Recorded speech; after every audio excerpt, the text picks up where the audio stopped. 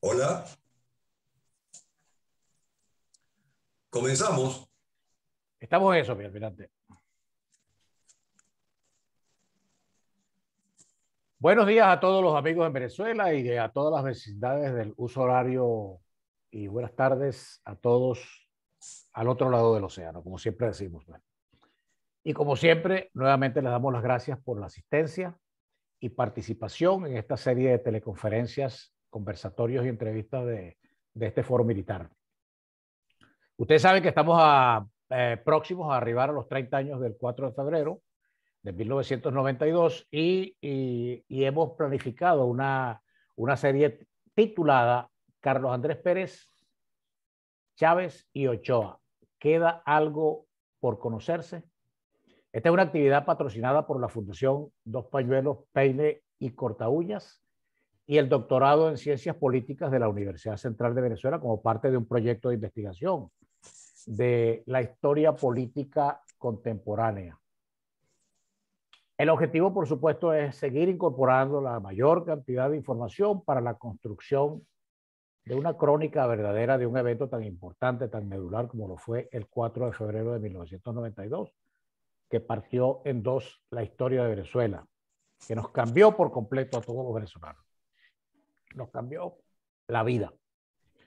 Son 23 años de revolución, como decíamos, 23 años de revolución bolivariana, más 40 años de conspiración para llegar al golpe de Estado del 4 de febrero y luego al poder por la vía electoral en 1998. Eso hace de ese paréntesis un atractivo para historiadores, para periodistas, para docentes, para cronistas, y en fin, realmente para los investigadores, pero fundamentalmente para los venezolanos, porque los venezolanos tienen derecho a saber exactamente qué fue lo que ocurrió en ese periodo. Y eso debemos profundizarlo y concluirlo definitivamente. Probablemente allí habrá respuestas distintas, como en efecto están empezando a surgir, a las que hemos recibido en estos últimos 30 años. Como hemos venido señalando, son tres los protagonistas de estos eventos, el expresidente Carlos Andrés Pérez, el teniente coronel Hugo Chávez y el general de división Fernando Ochoa Antich. Los dos primeros están muertos, como ustedes saben. El expresidente Pérez dio al final de su vida muy pocas entrevistas y las que dio no hizo un, no tocó medularmente el tema, lo manejó muy superficialmente él, él, se llevó a la tumba exactamente por qué. En ellas, en esas entrevistas no se incluyó lo suficiente en las interioridades del mundo militar sobre esos eventos. Por supuesto que Chávez, en sus maratónicos aló presidente, hizo y deshizo con la verdad que quiso construir y que construyó a su conveniencia de manera tal de arrimarle la mayor cantidad de brasa política a la sardina revolucionaria. Queda una sola óptica en este momento eh, de esos protagonistas, que es la óptica del general de división Fernando Ochoa Antich, exministro de la Defensa de esa oportunidad.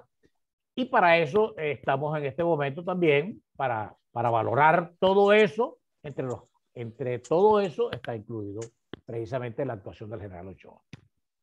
En ese laxo o de ese laxo se ha escrito de todo y la opinión pública venezolana siente que queda un saldo todavía muy significativo de la verdad. La sensación de que queda algo bien importante por conocerse. Y en ese algo, por supuesto, están incluidos responsables, hechos y coyunturas previas. Este es un foro militar. Por eso y para consolidar pertinencia en las opiniones y en los hechos sobre ese algo pendiente del 4 de febrero de 1992, Hemos invitado desde el día de hoy a este foro militar y conversatorio al vicealmirante Germán Gustavo Rodríguez Citrano. El tema, como dijimos inicialmente, forma parte de la serie titulada Carlos Andrés Pérez, Chávez y Ochoa, queda algo por conocerse. Vicealmirante, es director general sectorial de inteligencia militar desde 1984 hasta 1989, ex contralor general de las Fuerzas Armadas Nacionales desde 1989 hasta su retiro en 1992. Ojo, además de eso, mi almirante Rodríguez Citraro es un prolífico escritor. Sus obras más conocidas que están a la venta en el portal de Amazon, métanse, son Fue el fin de la pesadilla o comienzo del apocalipsis, historias de mujeres, La Hermandad del Trisquelión, eh, que es una saga de audiolibros en cinco entregas, y una segunda parte de La Hermandad del Trisquelión titulada Investigadores Paranormales eh, el almirante Rodríguez Citrano debe conocer la vida y obra y milagros de todo lo que ocurrió en estos últimos años críticos, entre mil, sobre todo entre 1984 y 1992. De manera que en materia de fuente, después de lo abordado la semana pasada por el coronel Falcón, con el almirante Rodríguez Citrano como fuente de información primaria, debería quedar, debería de quedar. Sabemos que no, pero por, por razones obvias, este, eh, debería quedar saldada. Mi almirante, Bienvenido.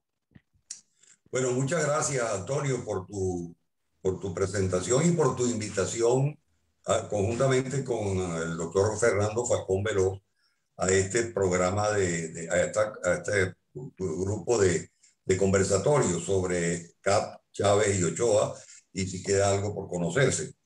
Este, en mi opinión, quedan muchísimas cosas aún por conocerse. Algunas de esas cosas ya fueron asomadas en, la, en el conversatorio pasado eh, con Fernando Falcón y otras trataremos de analizarlas hoy, preferiblemente en el periodo de, de preguntas y respuestas, para lo cual te propongo como moderador que fijes el esquema a seguir. Eh, pero antes yo quería eh, sugerir agregar otras dos preguntas a esa inicial de si queda algo por conocerse. La primera de ellas es cómo eh, influyó la realidad social en el intento de golpe de Estado eh, de febrero de 1992. Y la segunda, si el intento de golpe de Estado del año 1992 fue solamente del sector militar. Eh, a estas dos preguntas intentaré darles algún tipo de, de aproximación en esta parte introductoria en la cual voy a hacer una exposición a través de un marco conceptual. Pues para mí no existe relación lineal ni determinística, causa-efecto, entre ninguno de esos principales acontecimientos que convulsionaron la vida nacional en el último tercio del siglo XX, sino que forman parte de todo un proceso de descomposición que se originó en el año 1979. Eh, es decir, eh, para mí hay que analizar estos hechos desde el punto de vista de los sistemas dinámicos no lineales, en los cuales eh, las, las trayectorias, todas las trayectorias que culminan con un vórtice social, mm, están relacionadas, pero no son de causa-efecto. ¿no? Esto es una forma de ver el problema desde el punto de vista de la teoría del caos social que permite abordar, abordarlo por, eh, eh, siguiendo el proceso de transformación de la realidad que percibe el conglomerado social, puesto que en toda, eh, toda, todo caos social comienza siempre con una crisis de percepción de la realidad. en esa crisis de percepción, lo que parece no necesariamente es lo que es, pero para los perceptores del conglomerado social, es decir, para los ciudadanos, eso sí lo es. Y esa percepción tiene gran importancia, en, esa, eh, en esa percepción social tiene gran importancia los tipos de manipuladores que, eh, inciden sobre la realidad, los manipuladores de la opinión pública. Cada una de estas manipulaciones se conoce en este tipo de estudios como los vórtices sociales. Eh, un sistema aparentemente desordenado, pero que en conjunto representa un orden distinto e inesperado eh, y, en todo caso fatal para el status quo eh, del momento. Ese vórtice social se presenta a veces de manera espontánea por la acumulación de pequeños cambios graduales en el sistema social y otras veces por una, de forma accidental o también provocado por variables endógenas o exógenas específicas. Una vez que eh, expresamos este marco conceptual de análisis, eh, tendríamos que pasar a cómo fue cambiando la, la percepción, la crisis de percepción venezolana eh, desde el momento, eh, desde el año 1979 hasta el año 1997. ¿Por qué desde el 79? Porque es a partir de ese momento cuando en Venezuela se comienza a producir un proceso de deterioro económico que interrumpió el proceso de modernización que se inició con la era petrolera, mediante el cual eh, un modelo rentista de, de Estado eh, que dependía de la exportación de crudo para la obtención de divisas este, y su distribución en el conglomerado social, comenzó a tener problemas debido a las fluctuaciones de la, o, crisis producidas por, lo, por la caída de los precios del petróleo. Esto, a su vez, trajo como consecuencia la incapacidad del gobierno, de, del gobierno de turno o del sistema del gobierno de turno en el sistema político imperante de producir ajustes macroeconómicos adecuados para eh, compensar el deterioro que se sufría eh, en, el conglomerado social como receptores de esa redistribución de la riqueza rentista del Estado. A esta incapacidad del sistema político se agregó como atractor en el inicio de la ruptura del equilibrio de los valores socialmente aceptados, desarrollados y practicados en Venezuela desde el inicio del ensayo democrático en 1962, eh, eh, que se llamó Pacto de Punto Fijo y que funcionaba con un proceso de alternabilidad bipartidista entre dos partidos hegemónicos, Acción Democrática y COPEI. Este, y ese sistema bipartidista eh, fue incapaz de efectuar esos ajustes mm, macroeconómicos necesarios para solventar los problemas de financiación durante los periodos de crisis social originados por la caída de los precios petroleros. Ese constante devenir oscilante entre periodos de bonanza aparente y periodos de contracción eh, críticos comenzó a ser percibido por la sociedad como una crisis a partir de 1979. Y como ya lo dije en el marco, eh, marco conceptual, una crisis de, de percepción siempre es el inicio del el caos en un sistema social, sea este simple o complejo, familia, municipio, eh, región o estado. En esa crisis de percepción, tuvo gran importancia, eh, como dije también, la, intervención de los agentes manipuladores de la opinión pública que generaron vórtices sociales. Y esos vórtices sociales fueron los que de verdad eh, iniciaron el desequilibrio de los valores presentes en la sociedad. Aunque durante mi ejercicio como director general sectorial de inteligencia militar, este enfoque de la teoría del caos social no fue el que eh, eh, eh, controló o orientó u orientó los estudios o análisis que se hicieron para el jefe del Estado, este, sino que fueron a, eso me lo recordó Fernando Falcón, porque lamentablemente este, los archivos al respecto que yo tenía, muy completos, se perdieron en el deslave de, de en, Vargas. En Caracas, ¿cómo se llama? En La Guaira. Vargas, en, sí, en La Guaira. en La Guaira. Este, eh, nosotros hicimos en el, a fines del año 1988 un estudio muy importante sobre la conflictividad confrontacional de la sociedad venezolana, utilizando eh, una teoría que se llama la teoría de la privación relativa en la que se intenta explicar las causas del descontento o el sentimiento de descontento, de descontento e insatisfacción en el conglomerado social, eh, cuando las personas evalúan que, eh, su situación en relación con otro grupo de referencia.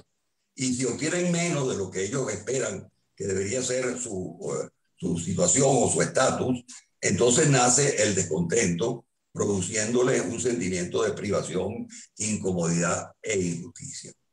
Ese informe, elaborado por la Dirección de Análisis a cargo del mayor eh, eh, Rondón y del, del entonces eh, mayor Fernando Falcón, este,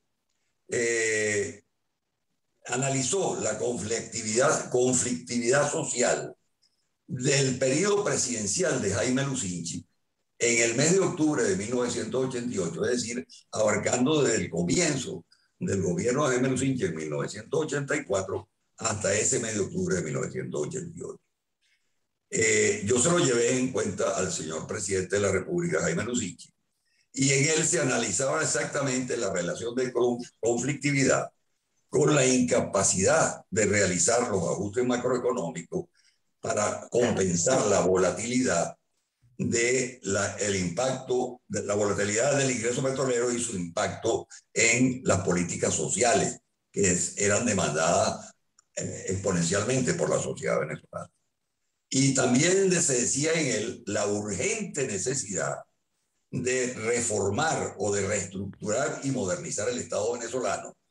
Eh, en otras palabras, la urgente necesidad de retomar el enfoque inicial que había tenido el gobierno de Jaime Lucinchi en 1984, cuando presentó el séptimo plan de la nación, este, eh, que había sido elaborado en su campaña electoral de 1983 y en el cual se llamaba a una especie de pacto social.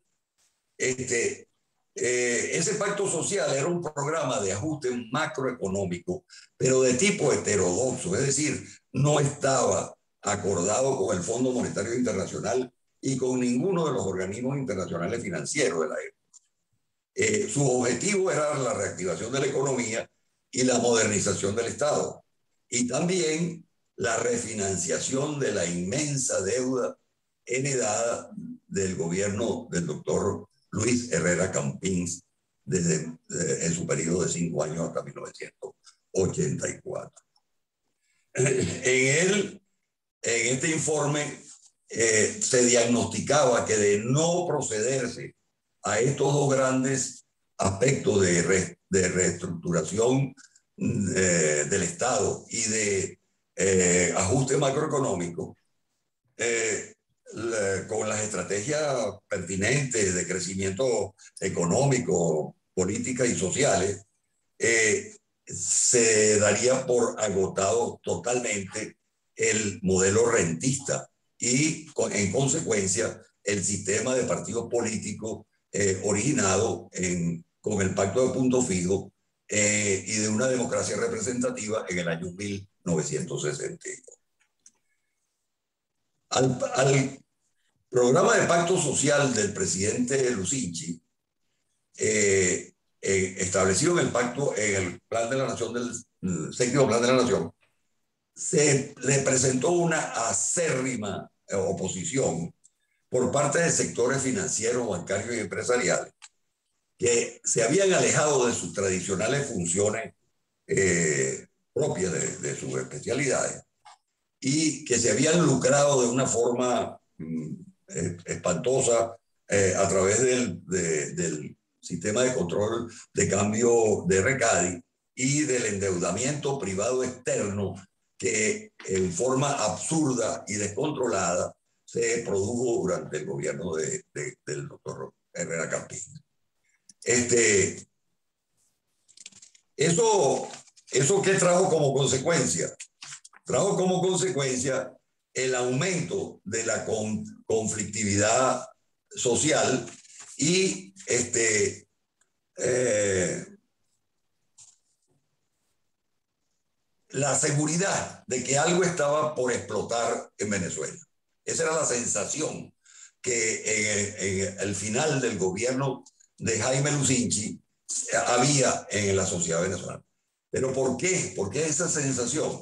Ah, porque al al boicotearse, al manipularse la opinión pública y boicotearse los postulados del séptimo plan de la nación, al gobierno no le quedó otra alternativa que desestimarlo y en su lugar generó un nuevo instrumento que se llamó el Plan Trienal. Ese Plan Trienal fue con la única finalidad de eh, refinanciar la deuda que se había producido en el ejercicio presidencial anterior. Pero no contemplaba en absoluto ningún tipo de programas sociales este, como lo hacía lo que estaba contenido en el Pacto Social del, del séptimo plan de la Nación. Eh, nosotros no estábamos muy lejos de la realidad, pues ese, es, esa percepción había generado un cansancio social peligrosísimo, peligrosísimo, que percibía que el Estado o el sistema político eh, no estaba en capacidad de dar respuestas adecuadas a sus necesidades. Y efectivamente, un día antes de que se firmara en Washington el, el nuevo programa de ajuste macroeconómico que presentó Carlos Andrés Pérez, que se llamó como, se, le, se tituló como El Gran Viraje, este, se produjo en Caracas un estallido social de confrontación, confrontación violenta que se llamó el Caracazo, el 27 de febrero de 1989. Un nuevo vórtice social en ese proceso de transformación caótica de la percepción hacia una nueva realidad social. Y cuando se superó la crisis de ese 27 de febrero, que ocasionó cientos de pérdidas de vida y millones de bolívares en pérdidas por, por saqueos, etcétera, etcétera. Este, cuando se superó la crisis, el presidente Pérez convocó a todos los organismos de seguridad del Estado, inteligencia, policía, etcétera, etcétera, y, al, y, al, y a los integrantes del alto mando militar y, al, y, al, y del Ministerio del Interior, y nos recriminó de, que no hubiésemos sido capaces de eh, prevenir esa situación. Y a nosotros nos quedó la satisfacción de decirle, bueno, presidente, nosotros a usted no se la hemos entregado, pero al presidente Lucinchi, su antecesor, se la entregamos. La advertencia de que esto podía ocurrir. No sabíamos que iba a ser tan inmediato, pero eh, sí, decíamos que a más corto plazo que a largo plazo, esa situación de confrontación violenta y explosiva se iba a presentar. Entonces él se quedó totalmente sorprendido con la entrega de ese documento, porque en ese momento yo le di una copia de lo que le había entregado al presidente Lucinchi. Durante mucho tiempo se ha atribuido una relación lineal de este hecho, de este hecho, conocido eh, como el caracazo o el sacudón, eh, atribuido a, exclusivamente al gran viraje de Carlos Andrés Pérez, eh, y se ha, se, ha, se ha, dicho que es el, la antesala del golpe de Estado, del intento de golpe de Estado del, año, del 4 de febrero del 92.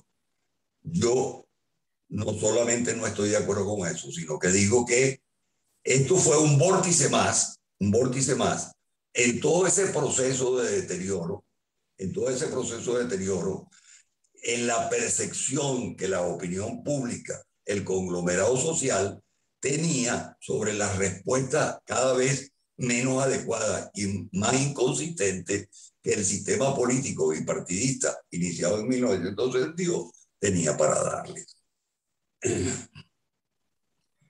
Los programas de reajuste económico, todos, tanto el de Jaime Lucinchi como el de Carlos Andrés Pérez, y posteriormente el programa de reajuste macroeconómico de Rafael Caldera, todos ellos, el, el de Jaime Lucinchi, el primero, menos, era más heterodoxo que ortodoxo. Es decir, no seguía tanto los lineamientos neoliberales establecido por los organismos financieros internacionales. Pero el de Carlos Andrés Pérez y el posterior de, de Caldera, sin lugar a duda, el, de Caldera, el, eh, la, de Venezuela, el proyecto Venezuela de Caldera, era exactamente igual al proyecto del Gran Viraje de Carlos Andrés Pérez. Eh, todos esos proyectos macroeconómicos de ajuste macroeconómicos neoliberales surtieron un gran rechazo en la población venezolana. ¿Por qué? Por la manipulación que desde sectores financieros, bancarios, eh, eh, eh, gremiales, todo, de todo tipo, se hizo contra esos ajustes. ¿Por qué? Porque estaba en juego la permanencia de las condiciones que habían dado a esos sectores una prevalencia o unas posiciones de poder dentro del sistema imperante, político imperante hasta ese momento.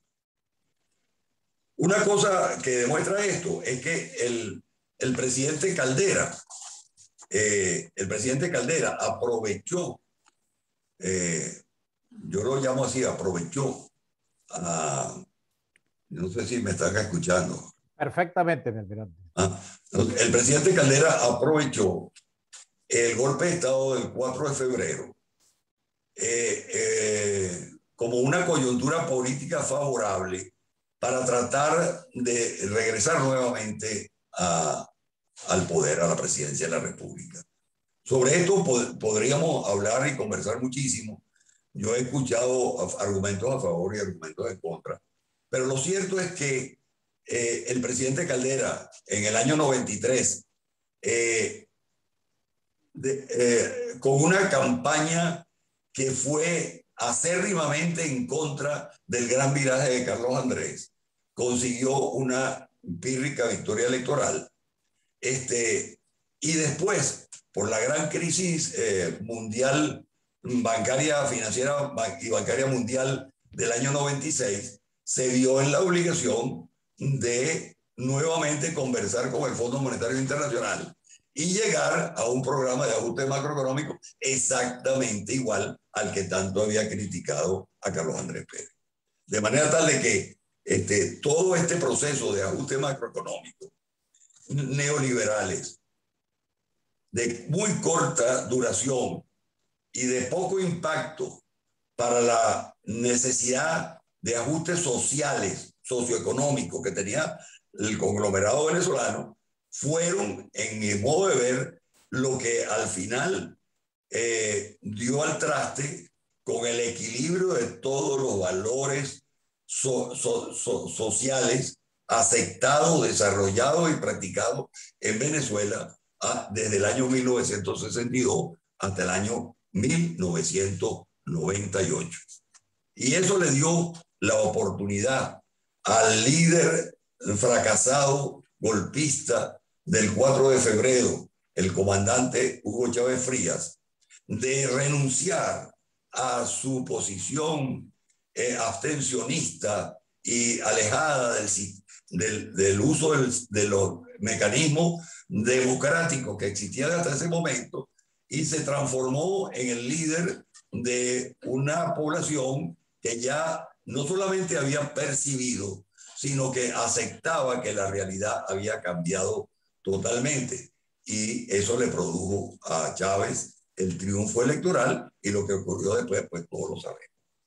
Hasta aquí mi introducción sobre esta, sobre esta eh, periodo de la, de la sociedad venezolana que culminó con la eh, destrucción de la realidad eh, y del equilibrio que los valores sociales habían tenido durante todo el pacto de punto fijo, desde el año 1962 hasta el año 1998, y la llegada de una nueva realidad constituida por lo que se llama o se, se dio en llamar la eh, revolución bolivariana del siglo XX.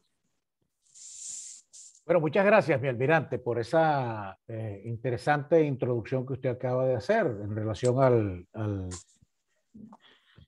pudiéramos, bueno, usted mismo lo calificó, que ya el agotamiento del sistema político y el, el pacto eh, acordado después del 23 de enero de 1958 en el sistema de partidos. A mí me gustaría focalizar eh, ya ahora la conversación, el conversatorio, en, el tema del 4 de febrero. Eh, usted recibió la Dirección de Inteligencia Militar, entiendo que fue en el año 1984. Usted acaba, No, yo recibí la dirección de inteligencia militar en el año 86. 86. Del, 84 al 86 fui subdirector. Subdirector, exactamente. Eh, eh, como subdirector, usted incluso estuvo, estuvo explicando exactamente cuál fue el rol que jugó allí en, en, en tercera base antes de, anotar, antes de agarrar el home. Em, el, a mí me gustaría precisar, porque eh, usted tocó los dos temas fundamentales que, que, que pudieran considerarse eh, de apertura ante un sistema que está colapsado, ¿verdad? que es el sistema de la, de la expresión social que ocurrió el 27, 28 y 29 de febrero, y el otro que ocurrió que fue el 4 de febrero de 1992. Y ese es el tema que a mí me gustaría precisar. Cuando usted recibió la dirección de inteligencia en, en 1986, también con la experiencia de 1984, ya en esa época, pudiéramos decir de manera puntual, había algún ruido de sables que pudiera considerarse más allá de la alerta que debería haberse planteado en aquella oportunidad? Claro que sí lo había. Lo había y, había demasiada información y análisis sobre eso. Lo que pasa es que en el periodo eh, del 83 al 86 eh, hubo una transformación eh, profunda, sobre todo en el ejército de Venezuela, con aquel programa ah, Andrés Bello, creo que se llamaba, ¿no? El plan Andrés Bello. El plan Andrés Bello.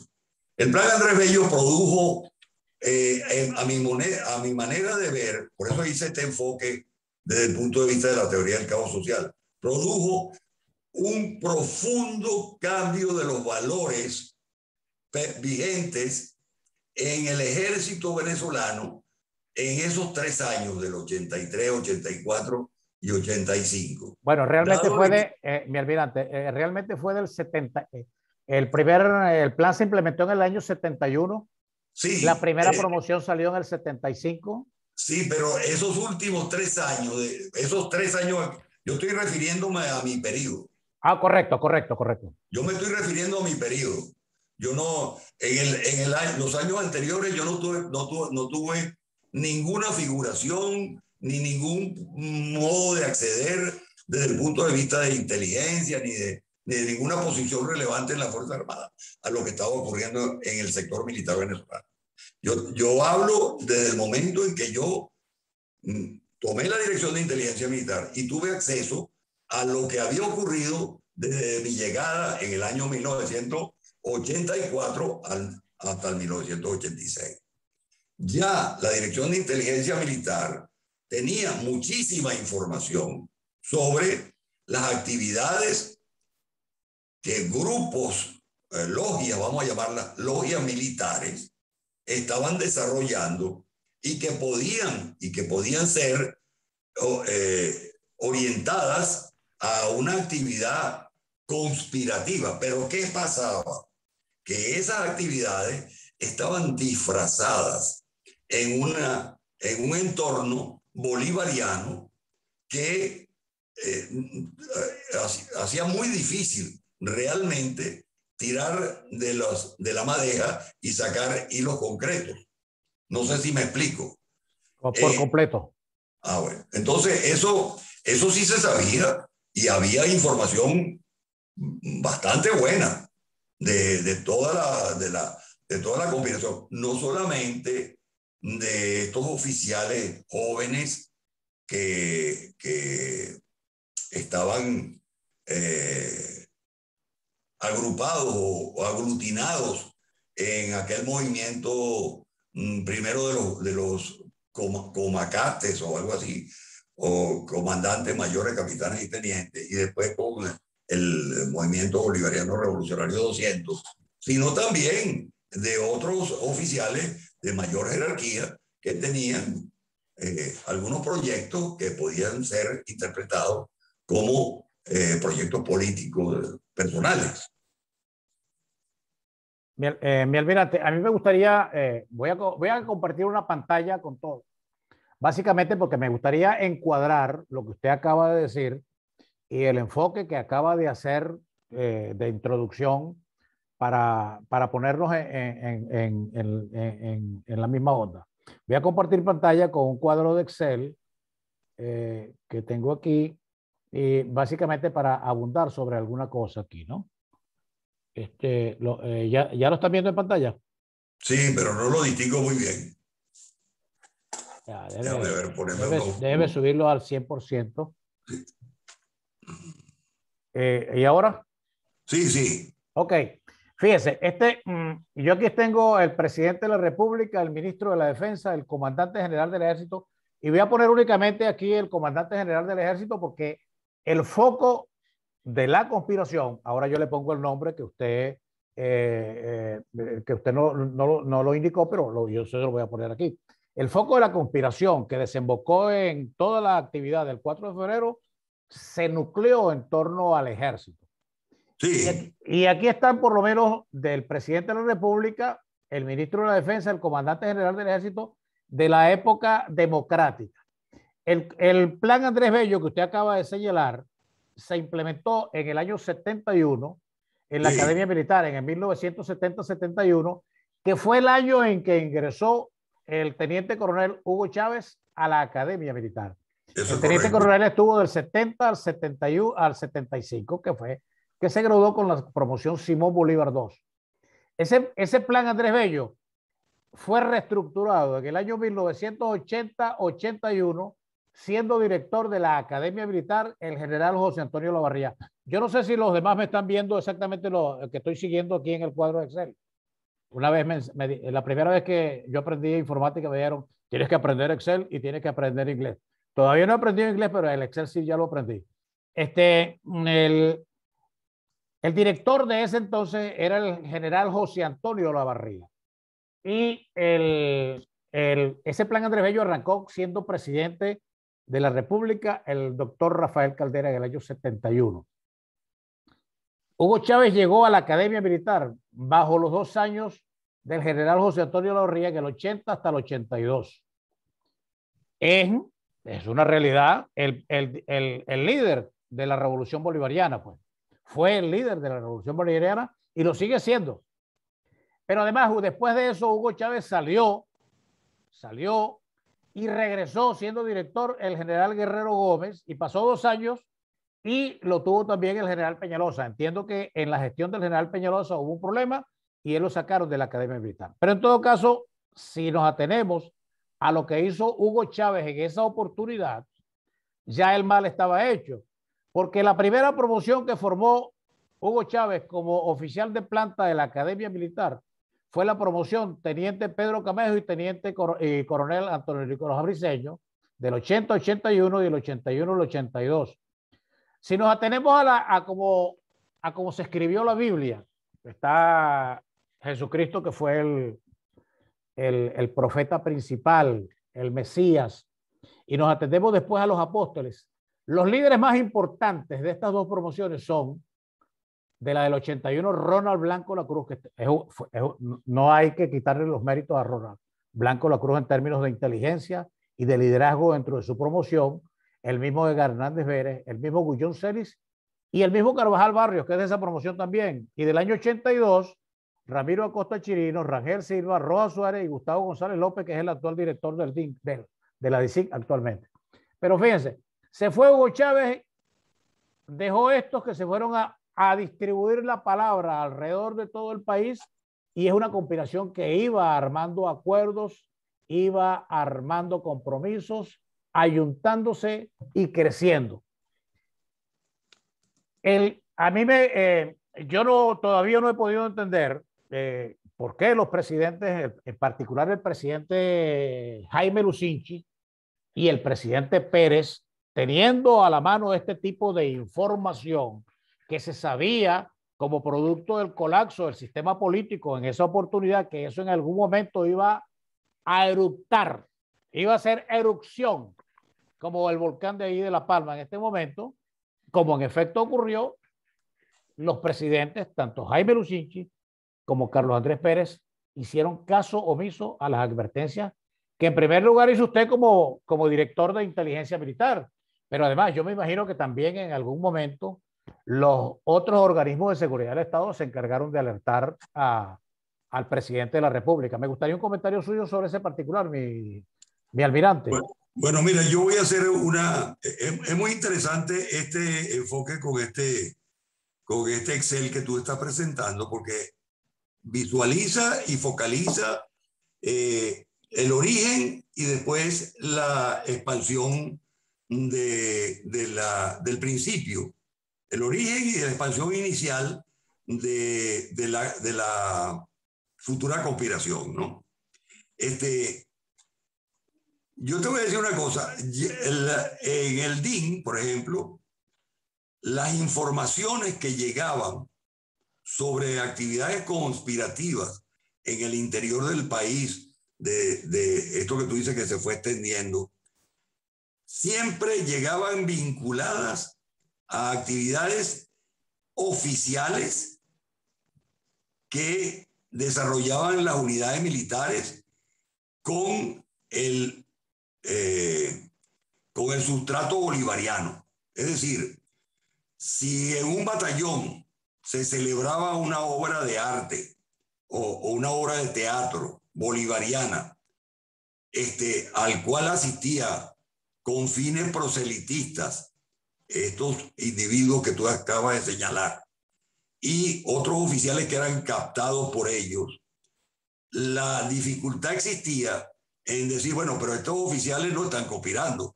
Estos oficiales están asistiendo a unas actividades eh, eh, legítimas y además promovidas por la institución, la propia institución. En algunos casos se sabía que estaban después en los, en los casinos militares o en las cámaras de oficiales, se estaba procediendo al proselitismo. Pero era muy difícil presentar una prueba fehaciente de esa conspiración. No sé si eso te da una idea de la dificultad que tenían los órganos de inteligencia. Eso por una parte. Y por otra parte, ese periodo de, Jaime Lucinchi, por lo menos en el mío, en la dirección que me correspondió a mí, este, hubo mucha pisada de manguera entre los bomberos. Las direcciones de inteligencia querían ser protagonistas y estrellas de la situación y en lugar de colaborar, lo que hacían era pisarse la manguera. Yo te voy a poner como ejemplo, y Fernando Falcón puede, puede corroborarlo, la Dirección de Inteligencia Militar, eh, en, mi, en mi época, no sé si actualmente es igual, era un organismo de seguridad del Estado y no una policía. La gente la percibía como una policía, una policía política, pero no era así. Era un organismo de seguridad del Estado adscrito al Ministerio de la Defensa con la finalidad de producir inteligencia para la seguridad del Estado, no del gobierno, seguridad del Estado. Entonces, eh, ¿qué pasaba? Que la dirección tenía que haber recibido de su usuario principal. ¿Quién era el usuario principal? El jefe del Estado. Los elementos esenciales de información necesarios para orientar su producción de inteligencia. Primero, orientar sus órganos de búsqueda, sus órganos de análisis, eh, e interpretar lo buscado y después producir la inteligencia en análisis de, eso, de esas informaciones. Yo nunca como director de inteligencia militar, recibí del presidente Jaime Lucinchi, nunca, ni del presidente Carlos Andrés Pérez, una orientación al respecto. Que me dijera, mira, almirante, vamos a centrar nuestra producción de inteligencia en esta materia. O vamos a centrar nuestra producción de inteligencia en este asunto. Entonces, ¿qué ocurría? Yo supongo que igual ocurría con la DICIP o igual ocurría con los demás organismos de inteligencia, que no tenían claro cuál era su parcela y su nivel de producción de inteligencia para la seguridad del Estado. Eso, eso ocurrió en mi, en, mi, en mi periodo. Pero además de eso, lo que te señalaba anteriormente, el DIN, para, para esa función que yo la interpreté de una forma y los colaboradores míos me ayudaron en esa interpretación e hicimos un trabajo de acuerdo a esa interpretación, no porque fuera la correcta, a lo mejor, a lo mejor podía haber sido distinta, pero nosotros la interpretamos de una forma y la ejecutamos. Y teníamos para ello una parte encubierta y una parte abierta de la organización. La parte abierta de la organización tenía una única finalidad y era la de servir como órgano auxiliar de la justicia militar. Nada más. No era una policía, no era nada más, sino órgano auxiliar de la justicia militar. Y la parte encubierta sí era un órgano de inteligencia para la seguridad del Estado. Entonces, se daba el absurdo de que los la Dirección de Inteligencia del Ejército, por ejemplo, no entendía que esta era la función del DIN. Inclusive a los funcionarios de la parte abierta que tenían que acceder al Fuerte Tiuna para ir a los tribunales militares en su función primigenia y, legal de asistencia a la justicia militar, se les impedía el acceso. Se les impedía el acceso. Es una cosa absurda. Entonces, cuando, cuando yo como director de inteligencia militar le, daba esta, esta, no queja, sino esta información al presidente, le decía, bueno, presidente, mire, aquí tenemos que, que eh, hacer una reestructuración de todo esto. No recibía el feedback necesario para que, para que se produjera. Entonces, ¿qué, ¿qué pasaba? Que la percepción de las Fuerzas Armadas internas sobre lo que estaba ocurriendo con los organismos de inteligencia era de total incapacidad, de total este, desorganización. Eso, eso ocurrió. Sí. Eh, mientras eso ocurría, por supuesto, el, el, tema de la conspiración del lado afuera y del lado adentro iba caminando, este, eh, ¿cómo se llama? rueda libre. Eh, bueno, en todo caso, ya la, opinión pública, yo creo que en términos de eso, de por qué ocurrieron las cosas, tiene una, está muy clara. Mm, mi almirante, pero yo creo que también como producto de esos dos periodos del presidente Lucinchi y el presidente Carlos Andrés Pérez, hay unas cosas que incidieron también porque que, sirvieron de, catalizador. Y a mí me gustaría hacer una, una, rápida introducción. En la Francia monárquica, mi almirante, los reyes acostumbraban a tener favoritas, que eran adicionales, por supuesto, a la reina. Por lo menos a Enrique IV se le conocieron 26 amantes. Luis, Luis XIV, tú, el hombre de la frase esa que quedó para la historia política del État c'est eh, el Estado soy yo, tuvo 14 segundos frente. Una de las más poderosas favoritas de la corona en, los tiempos, en su tiempo no fue eh, Madame Pompadour, fue poderosísima, consejera real e influyente asesora del rey Luis XV. Ese Luis XV, por cierto, ocupaba el segundo lugar en eso del score de secretarias privadas. Su marcador registraba 15 amantes, y eso que en esa oportunidad no existía la Viagra, imagínese usted. De la cama de la Madame Pompadour salieron muchas decisiones de la corte, imagínese usted, y no existía la Viagra en ese tiempo. Sin embargo, Luis XVI no tuvo amantes, pero eso no impidió que el cuello real ocupara un espacio en la guillotina y lo decapitaran. En sus dos, sus dos últimos cargos de actividad como vicealmirante, tanto con el presidente Lucinchi como con el presidente Pérez, ¿Cómo fue su relación?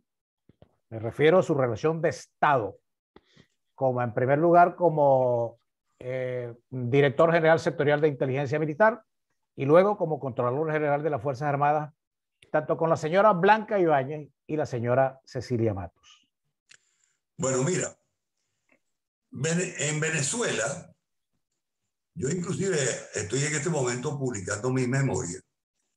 Que las, que las leemos las leemos con mucha atención, quiero que sepan. Y, e incluso al inicio de mi memoria, yo eh, narro eh, algo relacionado con mi padre, este, que era un gran segundo frentista. Este, la mayoría de los hombres venezolanos del siglo XX, si no, bueno, yo diría una gran mayoría de los hombres venezolanos del siglo XX, este, en algún momento o, o, o consuetudinariamente otros, este, tuvieron esa, esa debilidad del segundo frente. ¿Por qué? Porque era un hecho que venía desde la colonia. El, el derecho de pernada de los españoles en la, en la colonia se transformó luego en, la, en, la, en los criollos mantuanos eh, en una actividad perfectamente aceptada socialmente eh, de concubinato con, su, con sus esclavos y con personal a su servicio, etc. Y, y por ahí el venezolano no veía mal a un segundo frente. ¿Qué pasó en el caso del presidente Lucinchi? Que ese segundo frente se inmiscuyó en el ejercicio del poder o trató de inmiscuirse en el ejercicio del poder. Yo, yo con la señora Blanca Ibáñez, eh, Blanca Ibáñez Piña, no tuve eh, mayor trato. ¿Por qué? Porque ocurrió algo fortuito eh, al comienzo de mi, de mi cargo como director, que yo no sé si lo he narrado o, o lo he escrito por ahí, pero que un día eh, algo que necesitaba ser conocido de urgencia por el jefe del Estado y que necesitaba el DIN una decisión urgente por parte del jefe del Estado, este, me llevó a, a efectuar una llamada telefónica por la línea interministerial.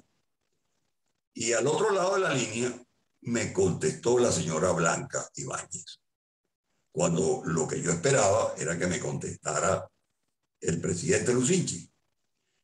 Ella me dijo, me atendió muy cortésmente y me dijo que el presidente no estaba disponible, pero que yo le podía decir lo que quería y ella se lo transmitía al jefe del Estado. Entonces yo le dije con igual cortesía, mire señora, yo necesito hablar con el jefe del Estado, no necesito un intermediario para eh, decirle al jefe del Estado lo que tengo que decirle. Por favor, dígale usted al presidente que yo necesito hablar urgente con él.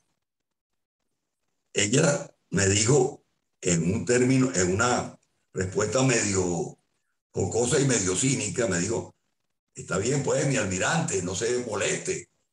Algo así. Y yo le dije, no, no es ninguna molestia, señora, solamente eh, que, quiero hablar con el presidente.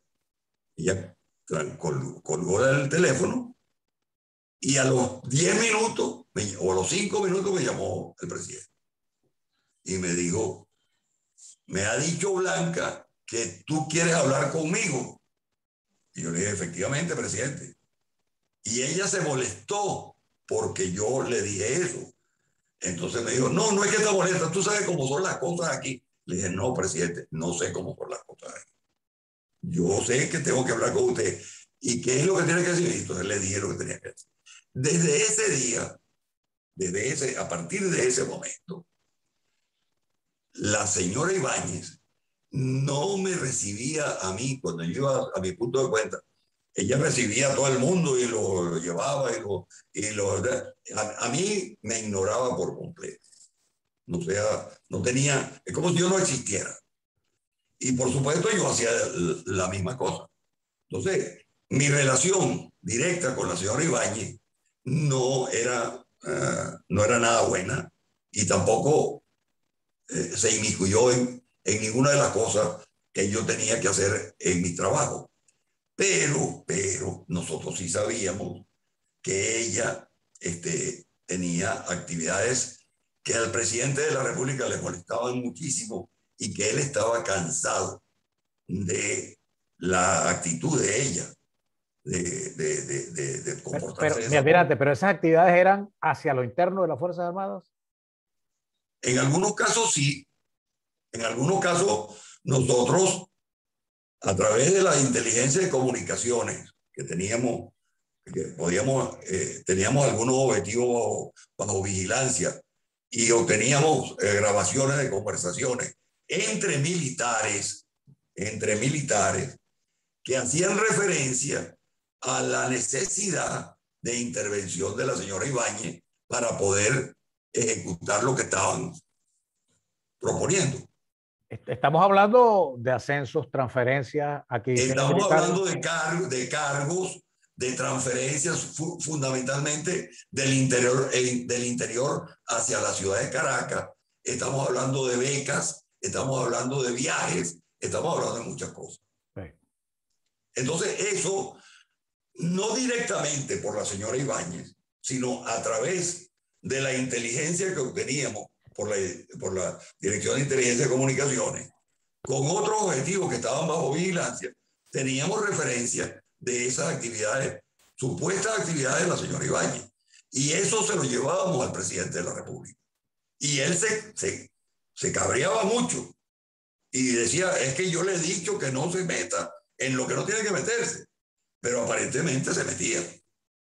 Ahora, en el otro caso, que el de, la, señora Matos.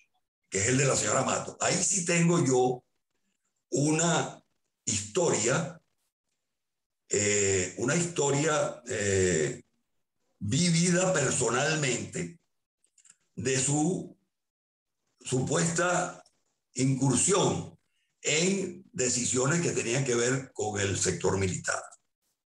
La voy a narrar por primera vez y... Este, muchas, gracias por la primicia, mi Bueno, la voy a narrar por primera vez.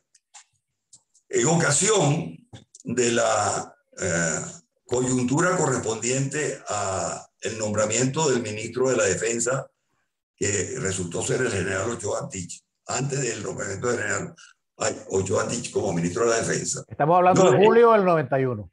Yo siendo, yo era el Contralor General de la Fuerza Armada y era el oficial más antiguo de la Fuerza Armada para ese momento. Eh, vino a mi oficina un día un oficial general de la Guardia Nacional, que no voy a decir el nombre, y me dijo, mire mi almirante, yo le traigo un mensaje a usted de la señora Cecilia Matos. La señora Cecilia Matos eh, le manda a decir que hay mucha posibilidad de que usted sea nombrado ministro de la defensa y solamente hay una ah, condición y es que eh, se nombre a un oficial como director general sectorial de administración del ministerio. Y yo le dije al oficial, ¿y ese oficial es usted? Y me dijo, sí, mi almirante. En ese momento, a mí me provocó pararme, mandar a ese señor a donde tenía que mandarlo y dar por interrumpida la conversación. Pero me acordé de una fábula del novillo y el toro, en la cual el novillo, por impetuoso, termina con una cuarta de acero en el borrillo y el toro sigue gordazo en el potrero. Y entonces me callé y, le dije, dígame usted. Y él me dijo, bueno, mire, mirante, la señora Matos le pide que vaya usted mañana a una reunión que va a haber en X parte. Eh, y ahí le van, a, le van a plantear lo que ella necesita. Yo le dije, bueno, pues bien, dígale a la señora Mato que yo iré. Y cuando terminé de hablar con el oficial, llamé por teléfono al presidente Pérez. Y le dije, Señor presidente, necesito hablar con usted urgentemente. Me dijo, venga Miraflores. Y yo fui al Palacio de Miraflores y le narré exactamente lo que había ocurrido. El presidente se rió y me dijo, bueno, mirante, vaya y después hablamos. Cuando el presidente me dijo eso, a mí de, verdad que se me cruzaron muchísimas cosas en la mente. Pero al día siguiente yo fui a ese sitio. Eh, allí estaba la crema innata de los lobistas militares y civiles para el negocio de las armas, para inversiones bancarias. Ahí había gente de todo tipo. Y eh, transcurrida la, porque no era una cena formal, sino era, era como una especie de, de buffet. Bueno, yo comí y me tomé un, un vino, un whisky, no me acuerdo, y conversé con dos personas. Y al rato se me acercó la señora Mato. Eh, me dijo, muchas gracias por asistir a la, invitación. Yo le dije, muchas gracias por invitarme. Pero ella no me mencionó en absoluto lo que este oficial me había dicho. Este, pero sí me dijo, almirante, usted es una persona muy inteligente. Usted es una persona muy inteligente. Eh, hágale caso a su intuición, a su intuición. Eso se lo dijo Cecilia Matos. Ella. Me lo dijo ella ese día, esa noche. Yo no le respondí absolutamente nada. Pasó el momento y no me volvió a llamar ni me dijo nada el presidente Pérez al respecto. Entonces, al poco tiempo se produjo el nombramiento del el general Ochoa Antich como ministro de la Defensa. Ya, ya ah, eh, había ocurrido el cambio eh, en el ejército. Eh, el cambio de... No, en el ejército no.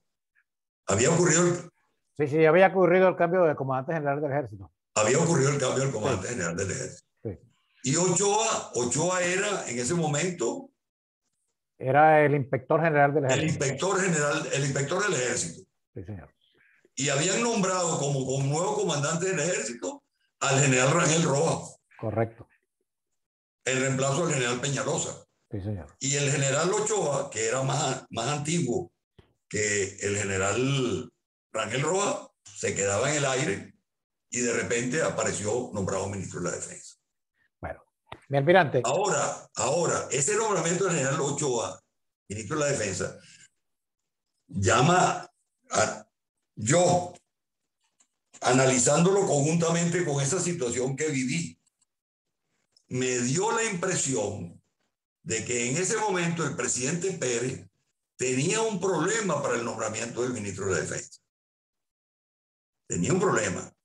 ¿Por qué? Porque la señora Mato a lo mejor estaba presionando para meter en el Ministerio de la Defensa a alguien de su, de su confianza, mientras que el presidente a lo mejor tenía otra visión, que fue lo que resultó, porque el general Ochoa no era, un, no era una persona vinculada a la, al entorno de Cecilia Matos, sino más bien a la familia presidencial. Sí, el general Ochoa procedía del catre oficial y no del catre extraoficial. Exactamente. Ahí los catres tenían influencia exactamente. Ahora, mi almirante, fíjese, mientras esto ocurría en el periodo del presidente Lucinchi y en el periodo del presidente Pérez, en el cual las favoritas eh, tuvieron vara alta en el poder de decisión en el sector militar, eh, ocurría que por lo menos en un cuartel del ejército, del armado, del que sea, a un oficial para poderse casar había que hacerle una curucuteada infinita al aspirante a casarse con el oficial. Eso es correcto, pero, además había otras cosas que, que causaban mucho, mucho prurito. Por ejemplo, los oficiales generales a veces, cuando se los invitaban, se los invitaba sin esposa. ¿Por qué? Porque la esposa oficial del presidente no asistía. Asistía la, la, otra cama. La favorita. Entonces, eso, que, eso creaba un cierto... cierto eso, eso, creó ruido dentro de la fuerza. Mucho ruido. Ahora, otra cosa, en el caso de la señora Ibáñez, por ejemplo, ustedes se acuerdan de que cuando hubo el deslave del río Limón, en, en Maracay, que, se produjo aquella, eh, aquella tragedia del, del río Limón, la señora Ibáñez, el presidente de, mandó, decretó, decretó el estado de emergencia en la zona y envió bomberos, policía, ejército, etcétera, una gran cantidad de contingentes para el auxilio de la población, etcétera. Y allí, ¿quién se apareció? Se apareció la señora Blanca Ibáñez. Sí, señor. Que la gente, los medios de comunicación manipularon diciendo Blanca Ibáñez vestida de generala. Eso es mentira. la señora Ibáñez lo único que cargaba era una casaca camuflada. Una casaca camuflada. Sin, jerarquía. de ningún tipo. No tenía kepis ni gorra tampoco. Pero la hicieron ver a, a ojo de la población de que ella estaba como oficial, inclusive, como un militar, al cual le estaban rindiendo informaciones y honores el resto de los militares, este, la hicieron ver ante la opinión pública así, y eso le hizo un tremendo daño al presidente Lucinche porque me consta que cogió una calentera tremenda. Pero a veces los hombres la cabeza de aquí no funciona igual que la otra. Entonces, bueno, este, y, al presidente Lucinchi eso le pasaba, eso le pasaba. Con el presidente Pérez tuve menos, menos contacto porque simple y llanamente estuve desde su asunción en febrero hasta el mes de julio. Y la única ocasión eh, que tuve contacto exacto con él crítico fue el momento del Caracazo bueno, el punto es que las favoritas tuvieron un papel bien importante en los dos ejercicios presidenciales y eso eh, impactó sobremanera en, sobre todo en el sector subalterno de las Fuerzas Armadas. sin duda alguna, sin duda alguna. Mi almirante, este, mientras el general Olavarría fue director del IAEDE en el periodo 83-84, en el curso 13, del cual creo que usted fue, creo no, usted se formó allí, Sí. Eh, eh, se formó, yo no, no, eso lo debería decir usted, espontáneamente o inducido, un grupo de oficiales que en el seno de las Fuerzas Armadas Nacionales se conocieron como los notables. Eso fue prácticamente un hecho público, notorio dentro, de dentro de los cuarteles, especialmente en el ejército. Mucha gente le achaca muchas responsabilidades de lo que ocurrió posteriormente, incluso el 4 de febrero, a mí me gustaría que compartiera con nosotros esa experiencia, sobre todo porque eh, su experiencia, lo que usted vaya a decir, va a contribuir a desmontar muchas de esas eh, informaciones que circulan, entre las cuales hay verdades, medias verdades y mentiras. Este fue un grupo militar formado para la toma del poder político. Bueno, mira, eh, eso, es una, eso es algo, una leyenda urbana una leyenda urbana. ¿qué, ¿Qué ocurrió? Al Eden, el ejército enviaba a los oficiales que potencialmente tenían eh, eh, la posibilidad de ser generales, o sea, de pasar del grado de coronel al generalato. En la Armada no ocurría lo mismo. En la Armada, el enviar un oficial al Eden era más bien enviarlo al congelador. O sea, un oficial que tenía potencial de ascenso, etcétera, etcétera, pero que lo querían congelar y poner, mándalo al IAE. Y eso me ocurrió a mí. Me ocurrió a mí. Este, de, hecho, en ese grupo, el único de la Armada que estaba era usted. No, estaba el, el, el, el capitán de navío Hernández Olivares también. Correcto, correcto, aquí. Sí, sí, correcto. El abuelito. El abuelito. este, ¿Qué pasó? Que yo llego al IA Eden, yo era un oficial de línea técnica exclusivamente, casi exclusivamente. Venía de, del proyecto logístico de la fragata Mariscal Sucre, de la dirección de materiales. Yo, yo la, esa, esa visión política del militar no la tenía en absoluto. Aparte de que yo había hecho mi curso de Estado Mayor, pero yo no, no, no, no como todos los oficiales navales y la gran mayoría de los oficiales navales y aéreos, no tienen esa visión que sí la tienen los oficiales del ejército y de la Guardia Nacional. ¿Por qué? Porque desde que son subtenientes y están en todas esas guarniciones, batallones, unidades del interior, etcétera, entran en contacto con gente de los partidos políticos y van evolucionando y creciendo paralelamente los políticos dentro de sus organizaciones y los militares dentro de ellas y van conformando este, una serie de alianzas que al final, cuando se, son generales y son políticos de, de alto nivel, pues eh, buscan alianzas para el poder. Eh, en la Marina no ocurría eso. Entonces yo llego y me encuentro con que una, un gran porcentaje de los civiles que estaban en el curso eran funcionarios de la administración del partido COPEI. De hecho, de hecho, muchos fueron a la administración de Caldera como ministros. Exactamente, muchos eran altos funcionarios del, del gobierno de, de, de, los gobiernos copellanos o eran considerados como potenciales altos funcionarios del gobierno copellanos.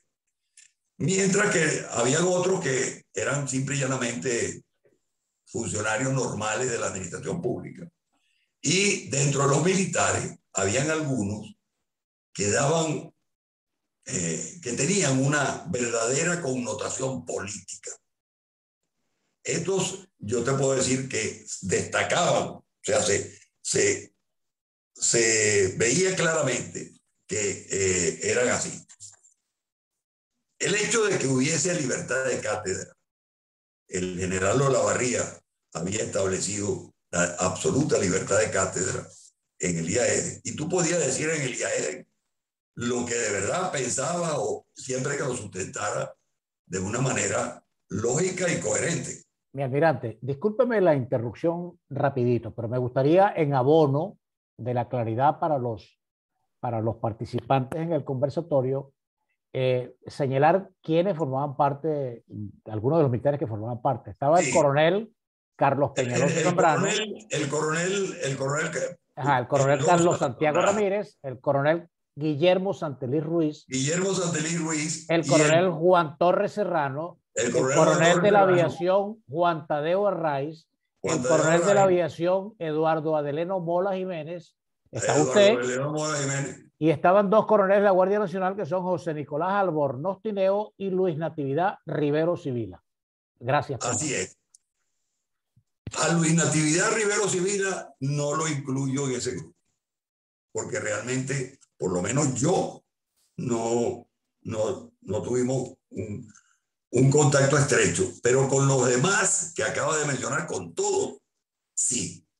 Y a ese grupo que tú acabas de mencionar, Peñalosa, Torres Serrano, Santiago Ramírez, eh, Albornoz Tineo, eh, Mola Jiménez, Juan Tadeo Arraiz, mi persona, a todos ellos, el resto del curso número 13 del IAE le empezó a denominar los notables.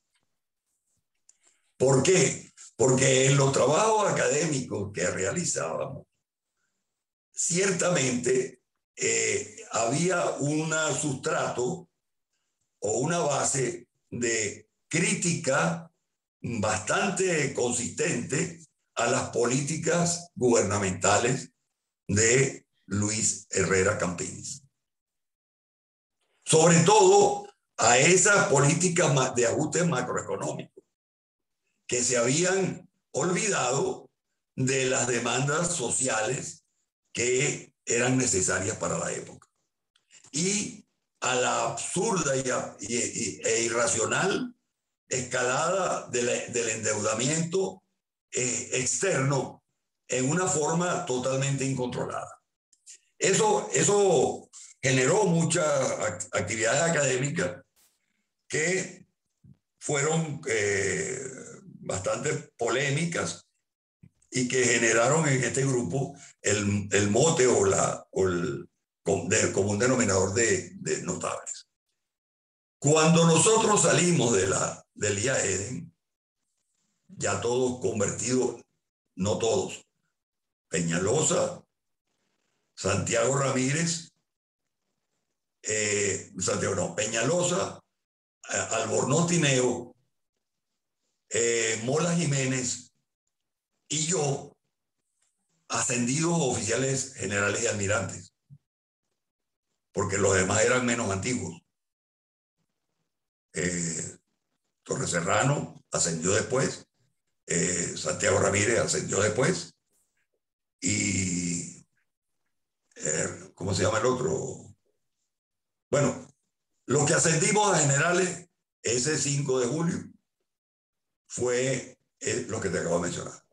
Peñalosa. Eh, otro, otro sí para la información, mi almirante, que es que generalmente se asocia dentro de este grupo al general Ochoa Antich, porque el general Ochoa Antich no formaba parte de ese grupo. Espera, espera, Ochoa Antich no formaba parte en absoluto de ese grupo. Correcto. Yo llego a conocer a Ochoa Antich mucho tiempo después de haber egresado del IAED en una actividad privada que se realizó en la casa de Santiago Ramírez. Eh, y yo, y era coronel Ochoa, y yo vi la, la relación que Ochoa tenía sobre todo con Santeliz.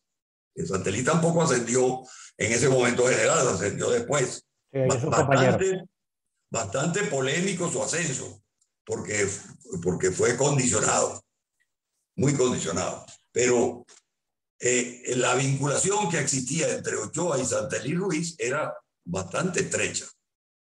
Y ya Santelí Ruiz sí er, era una presencia más común con el grupo de Santiago Ramírez y como esa reunión fue en la casa de Santiago Ramírez, yo conocí allí a Ochoa pero no tenía nada que ver con Ochoa con el grupo de los notables del IAED. Correcto, correcto. Sí, porque es que la, la, la, historia extraoficial tiene la tendencia a asociar al general Ochoa con el grupo de los notables del, de la, del, del curso 13 del Instituto de Altos Estudios de la Defensa bueno, ellos Nacional. Tenían una, ellos tenían una relación, una relación de amistad.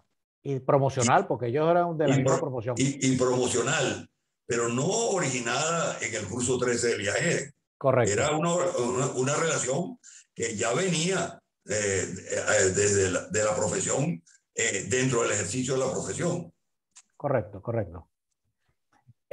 mi almirante, me voy a colocar, porque estamos hablando del 4 de febrero, y a mí me gustaría compartir con, con, con usted y con todos los participantes, y por supuesto con quienes van a ver posteriormente eh, una lámina eh, de lo que yo llamo que son los 15 rounds del presidente Pérez, ¿verdad? Y me gustaría un comentario suyo sobre el particular. Voy a compartir esta imagen. Eh, ok, esta es la imagen. Yo no sé si están viendo la imagen allí. Sí. Ok. Bueno, yo, eh, aquí están los 15 rounds del presidente Pérez, en, eh, porque el ejercicio del presidente Pérez eh, fue el fundamental. A él fue el que le dieron el, el, el, el golpe de Estado. El golpe de Estado del 4 de febrero. Yo pongo 15 eventos aquí que son, y, y los aparejo, le doy una analogía con lo que se llama un round. El 26 de octubre es el Caño La Colorada. No, el 26 de octubre es el movimiento o sea, lo que está en rojo son los rounds que perdió el presidente Pérez. Pero es que el 26 de octubre. El 26 de octubre del 88 fue la movilización de los tanques Dragón ah, ah, de Fuerte Tiuna hacia Carmelita y hacia la Viñeta. Sí. Ese round yo se lo doy a, a la conspiración porque el presidente Pérez, como usted lo acaba de señalar anteriormente, eh, no, no le prestó la debida atención a todo lo que venía ocurriendo, por lo menos hasta esa fecha, pues. Y en esa oportunidad usted era director general sectorial de inteligencia militar. De manera tal que en ese proceso... Ahí, ahí, ocurrió algo que, que, la mayoría de la gente no lo sabe. Y es que esa, esa noche de los tanques del 26 de octubre, este, realmente nos sorprendió, nos sorprendió el hecho Ah, en el digno sorprendió el hecho. Y, y cuando el presidente encargado me dio la orden de ir al fuerte Tiuna y de buscar al mayor Soler Zambrano y a los capitanes que habían intervenido en el hecho, yo me trasladé allí y me encontré con la sorpresa que en el en el sitio donde iban o donde ya habían comenzado el interrogatorio del mayor Soler, se encontraba el general Heinz Apurua y el general Santelí Ruiz. Eh, el general Apurua, yo le dije, a, él lo conocía yo de, mucho tiempo antes porque él y yo habíamos estudiado el quinto año de bachillerato juntos, antes de ingresar a, los institutos de, de la Fuerza Armada. Entonces, este, yo le dije, mira, Manuel, yo tengo instrucción del presidente de la República, el, doctor, Simón Alberto González, de llevarme al mayor para el DIN y proceder a su interrogatorio. Y él me dijo, Germán, yo tengo otras instrucciones. ¿de quién? Tengo otras instrucciones. Entonces, yo le dije, pero bueno, las instrucciones que yo tengo son del presidente. Me imagino que las tuyas no son del mismo presidente sino de otro eh, eh, estamento inferior. Él me dijo, espérate un momento, y salió del local donde, estaba, donde estábamos, de la policía militar, y se tardó como unos minutos afuera, y al, eh, al, reingresar me dijo, mira, Germán, me ratifican que el mayor Soler Zambrano tiene que ser interrogado por el ejército, por la Dirección de Inteligencia del Ejército. Yo me regresé a la casona, yo no iba a, insistir ni a, forzar ninguna situación de, de, crisis allí. Me regresé a la casona, a la casona, a la casona no, a, la viñeta, y le dije al presidente encargado, le dije, mire, doctor, eh, el general de Puro me dijo que él tiene instrucciones de que al mayor Soler lo interrogue el ejército. Y me dijo, vamos a llamar a, a Jaime a, allá al para, a, Uruguay, ¿no? donde se encontraba, de gira. Y lo llamó. Yo estuve presente en la llamada, pero no la escuché lo que el presidente Lucinchi le decía a él, pero sí lo que González le decía a Lucinchi.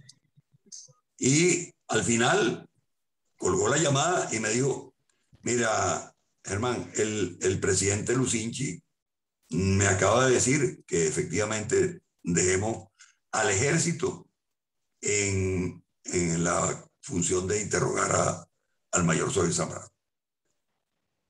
Yo simplemente acaté la orden y me fui para ti. Pero nosotros sí habíamos tenido una información previa de que Hugo Chávez visitaba frecuentemente el batallón Ayala, no sabíamos exactamente eh, lo, que, lo, que, lo que hablaba, pero sí sabía que se había reunido con el mayor Soler y, y lo había hecho varias veces. Entonces, nosotros, atando cabos y después por otras informaciones que nos llegaron, preparamos un informe para el jefe, para el jefe del Estado, en el cual le decíamos que esa noche de los tanques había sido un ensayo, un, round de, como tú lo tienes aquí, un round, ¿verdad? Pero un round de sombra. Un round, de sombra, que así, lo, así lo tengo yo en el, en el ayuda memoria, un round de sombra. Un round de sombra en el cual habían sacado los tanques Dragón B100, los habían movilizado para ver qué tipo de reacción causaba eso. No solamente en, en el seno de la Fuerza Armada, sino en el seno de la sociedad civil. Correcto. A ese informe que yo le llevé al presidente Lucinchi, él me ratificó, mira, almirante, no se meta más en eso, deje al ejército investigar su situación. Y poco tiempo después le preguntaron al presidente Lucinchi que había sido la noche del ataque y fue cuando él dio aquella célebre respuesta. Eso es un cuento, unos cuentos chinos. Un cuento chino, así es, correcto. ¿Me entiendes? Sí. No era tan chino el cuento. no era chino. Bueno, era, era, un chino de aquella oportunidad donde decía Made in China, pero no de los chinos actuales. Exacto. O como el chino de Recadi. Así es. Bueno, ese round fue, fue a favor de la conspiración. Después está un segundo round del 27, 28 y 29 de febrero del 89, lo que se conoce como el Caracazo, que creo que particularmente también en ese momento, con la fractura del sistema político en ese momento y lo que ocurrió con la expresión de la gente en la calle, el presidente Pérez, que ya había recibido, no profundizó exactamente. Fíjate tú que nosotros, fíjate tú que nosotros le habíamos dado la información de una posible confrontación eh, violenta, eh, eh, una confrontación violenta, y en octubre del 88 al presidente Lucinchi, y aparentemente el presidente Pérez no recibió nada de eso en la transferencia de mando, porque cuando yo le di la copia en la reunión con los jefes de inteligencia después de la crisis del febrero del 89, él estaba totalmente sorprendido. Sí. Pero, pero, eh, pero además de eso, posteriormente no hizo nada, pues. Para no hizo nada, no hizo absolutamente nada. ¿Por qué? Porque eh, realmente el problema era el problema era, ya escapaba a esa coyuntura. El problema era un problema estructural. Era un problema estructural como, como yo lo, lo, mencioné en el marco introductorio de este conversatorio. Ya lo que estaba ocurriendo en febrero del 89 no, es, no era debido a esa coyuntura, no, no era porque el pasaje eh, extraurbano aumentó, porque unos céntimos de la gasolina tampoco, no. Era un problema de percepción del cambio de valores en la sociedad, un problema estructural.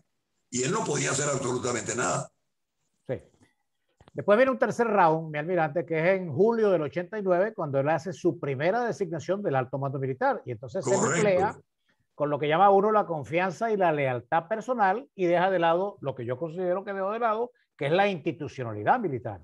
Fue un gravísimo error. Otro gravísimo error, ese es un round también que lo perdió por completo. Pues.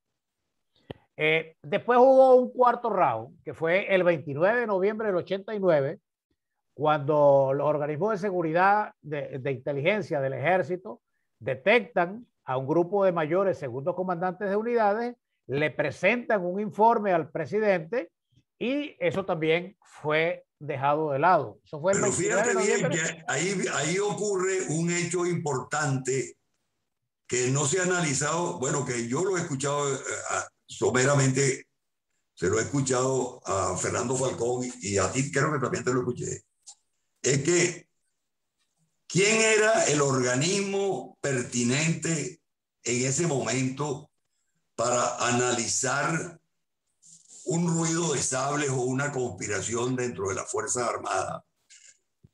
Era simple y llanamente la Junta Superior de las Fuerzas Armadas que era el organismo que aglutinaba todas las funciones eh, relacionadas al conjunto de las Fuerzas Armadas, dado que la eh, autonomía administrativa del 288 había fragmentado lo que antes era el Estado Mayor Conjunto. Y eso no se ventiló en, la Junta eh, Superior. En, absoluto, eso se Nunca se ventiló. Nunca se discutió. Entonces yo me pongo, yo me pongo en, la, en, los zapatos del presidente cuando o bien un organismo como el mío, o bien un organismo como la DICIP, o bien un organismo de la Dirección de Inteligencia del Ejército, eh, o el mismo comandante en el ejército le llega un informe diciendo, mire, estos oficiales están conspirando. Bueno, ¿y, ¿y dónde está la prueba? Exacto. ¿Dónde está el seguimiento institucional de esto? Entonces yo como presidente poniéndome en sus zapatos, digo, un momentico, esto puede ser o no. Y tomó el riesgo y resulta que era verdadero. Pero institucionalmente, las Fuerzas Armadas no lo manejaron. Sí, señor, eso es correcto. Bueno, total que hasta, es, hasta esa fecha el presidente había perdido cuatro rounds por los puntos y quedan dos rounds más que en enero del 90, que en el ejército se vuelve eh, ya por la vía del general Gens Aspurua, el tema de la conspiración militar, y de hecho creo que se hace una reunión que no se registró en la Junta Superior de la Fuerza Armada no, Y, y, quedó en el aire, pues. Porque fíjate, yo he hablado con Carlos Larrazábal Y Carlos Larrazábal fue eh, jefe de Estado Mayor y perteneciente al alto mando militar en los dos periodos, en el de Lucinchi y en el de Carlos Andrés.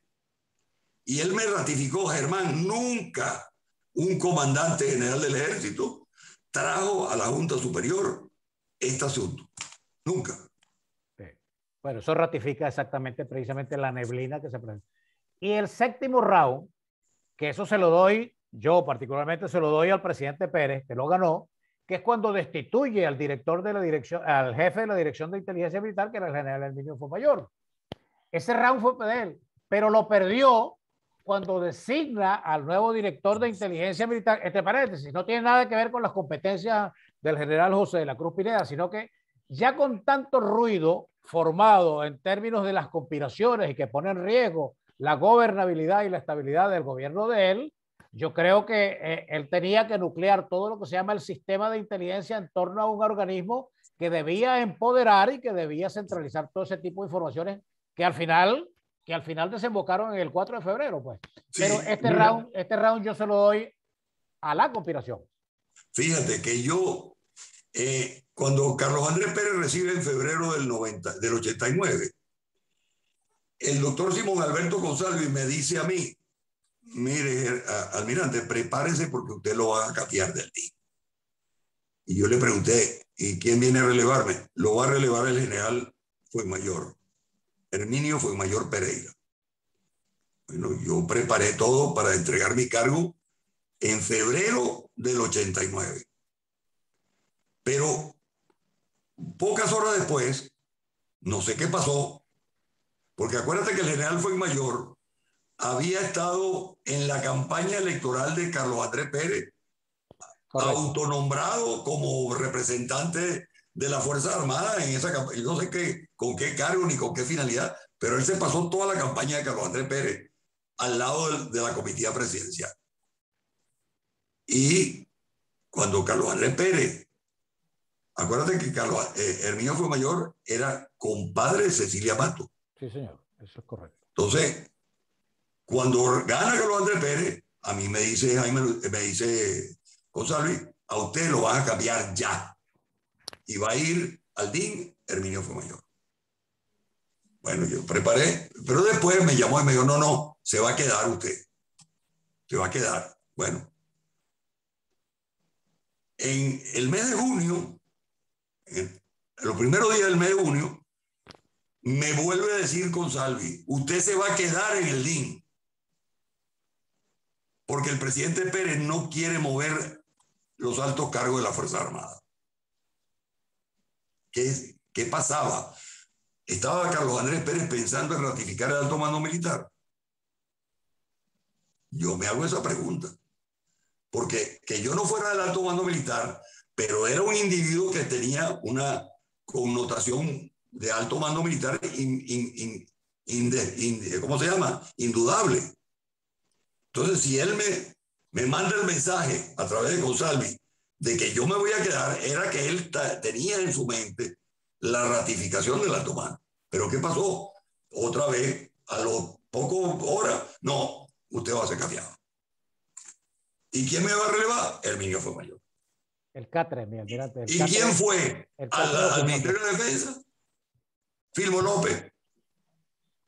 No. El, el Catre oficioso. El Catre entonces, ahí eh, eso tiene un... Porque yo, eh, alguien que no estaba en, el momento, en, esa, en esas circunstancias, no lo puede analizar, pero yo sí lo puedo analizar, porque claro.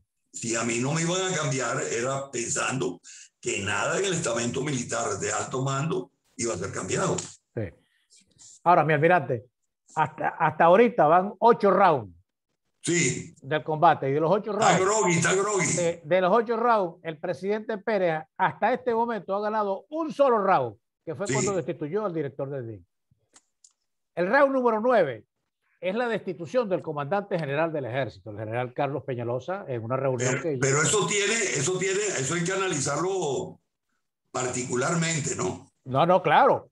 Yo se, yo se lo doy al presidente Pérez, pero después el siguiente round que es cuando designa al nuevo comandante general del ejército, y aquí es donde me gustaría un comentario suyo con, para unir los dos rounds en términos de la, de la asignación de la puntuación, eh, primero destituye al comandante general del ejército en una, bueno, es un hecho público porque el mismo general Ochoa en su libro lo comenta porque él estaba presente allí.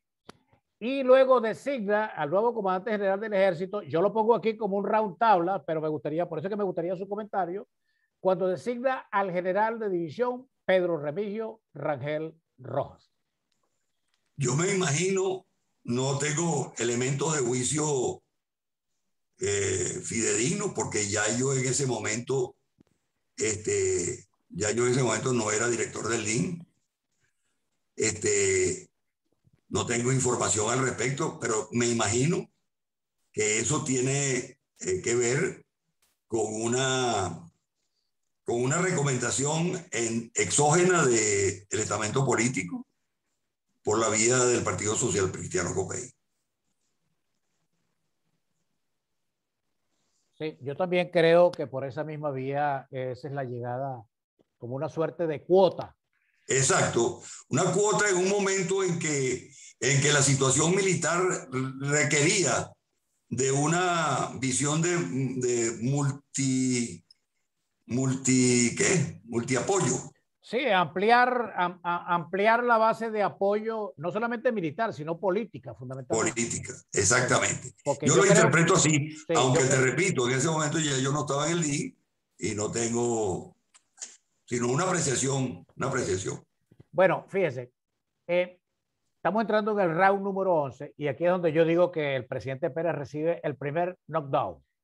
El presidente va a las cuerdas y cae y recibe conteo de protección. Y es el mes de junio de 1991, después que destituye al comandante general del ejército, el comandante general del ejército va al patio de honor de la Academia Militar y lanza un polémico discurso que en otras circunstancias, con un presidente fuerte, y por eso que me agarro de lo que usted acaba de decir en este momento, de que el presidente necesitaba alguna base eh, eh, de apoyo lo suficientemente contundente para poder tomar decisiones no solamente a nivel político, sino a nivel militar.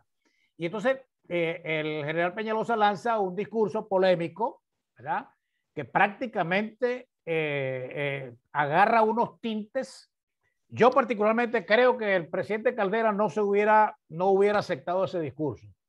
E inmediatamente que bajó el presidente, el, el comandante Ni Lucinchi tampoco. Ni Lucinchi tampoco. E inmediatamente que bajara de la, de la tribuna, lo debería estar esperando una comisión para llevarlo a, y arrestarlo, pues. Porque ese un general que lo arrestara. Claro, claro. Entonces ahí el presidente Pérez empezó, bueno, se cayó al suelo prácticamente, a, la lona, cayó a la lona y recibió conteo de protección.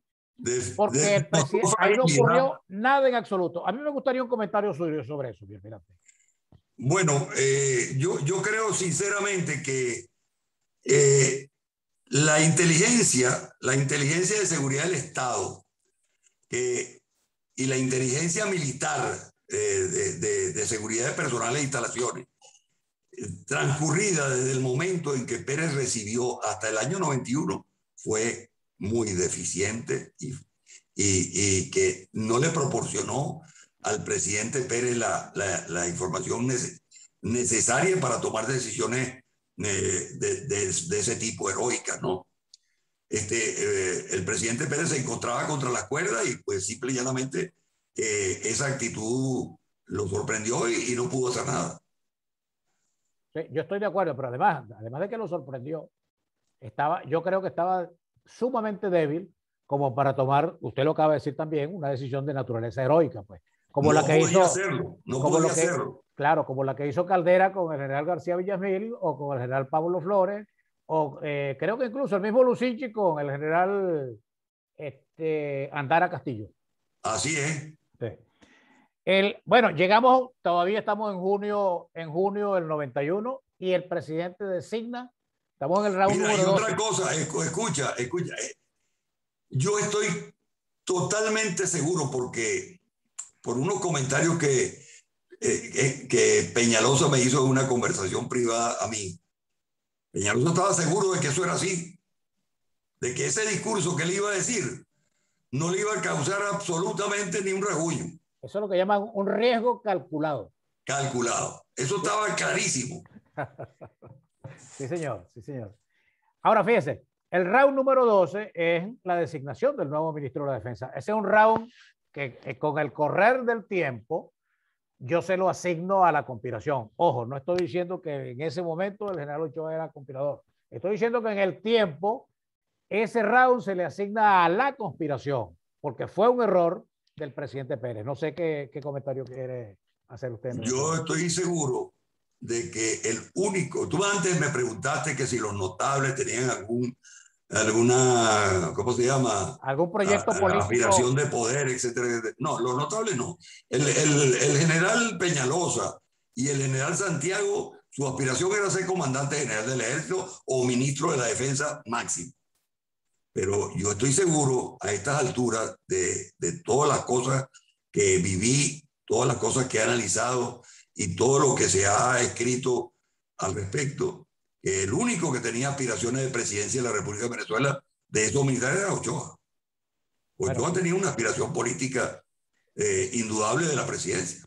Eso responde cualquier tipo de pregunta sobre ese particular que yo haya rayado para hacérsela posteriormente. bueno, mi almirante, vamos a, a, esta altura, vamos por el round número 12. Y de los 12 rounds, el presidente Pérez únicamente ha ganado dos tiene uno tablas. Y uno tabla. Y uno tabla. Y llegamos al 4 de febrero. El 4 de febrero, el presidente Pérez se fue a la lona nuevamente y recibe conteo de protección. Me gustaría oír su, su comentario, Melvirante. Bueno, mira, el 4 de febrero, para mí, por eso yo cuando, cuando hice la, la introducción, te dije que me gustaría agregar dos preguntas. Y la segunda pregunta fue, que yo formulé fue, fue solo un intento de golpe de Estado de los militares. El 4 de febrero, este, los militares que hicieron? Hicieron una operación, ¿verdad? Eh, de traslado de tropas eh, en una forma que absurdamente eh, no fue controlada por el resto de la organización militar y, dieron un golpe, eh, y, hicieron un intento de golpe de Estado en la capital de la República, este, muy mal planificado, muy mal planificado, y que, y que a mi modo de ver, y vuelvo a repetirte, ya no tengo la información fehaciente, porque en ese momento tampoco estaba ya yo en la Dirección de Inteligencia Militar. Pero ellos creían, tenían fe en que ese efecto del coup d'etat, el, el golpe de Estado exclusivo militar, iba a generar inmediatamente una reacción en cadena en el resto de la población, dada a todo esto que también dije en, el, en, el, en mi intervención inicial de marco conceptual, dado que creían efectivamente que la, la percepción de la realidad se había convertido ya en una nueva realidad social.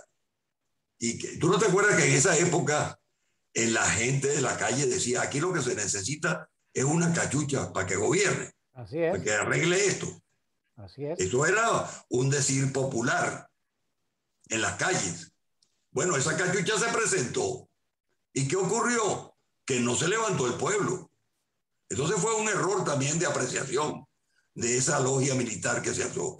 Y también, aquí sí vienen grandes preguntas, hay algo más por conocerse. Porque cuando termina el golpe de Estado, y es aquí donde sigo haciendo insistencia, cuando termina el golpe de Estado, eh, o sea, es controlado el golpe de Estado desde el punto de vista militar, ahí ocurrieron una serie de cosas absurdas que la manejó el ministro de la Defensa y que el presidente de la República le dejó hacer sin ningún tipo de control a Ochoa. Sí, señor. Y que las respuestas a esas interrogantes sí tienen que ver mucho con lo que todavía no se conoce.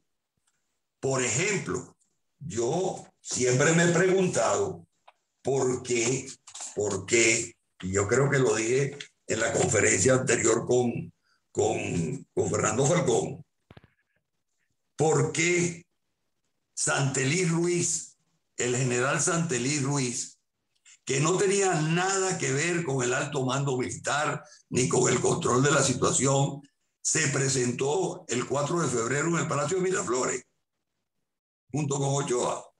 ¿Por qué? Porque Ochoa dice, ah, no, es que yo vi por ahí a, a, Santelí y le dije al presidente, mire, vamos a mandar a Santelí para que rinda Chávez. ¿Qué es eso?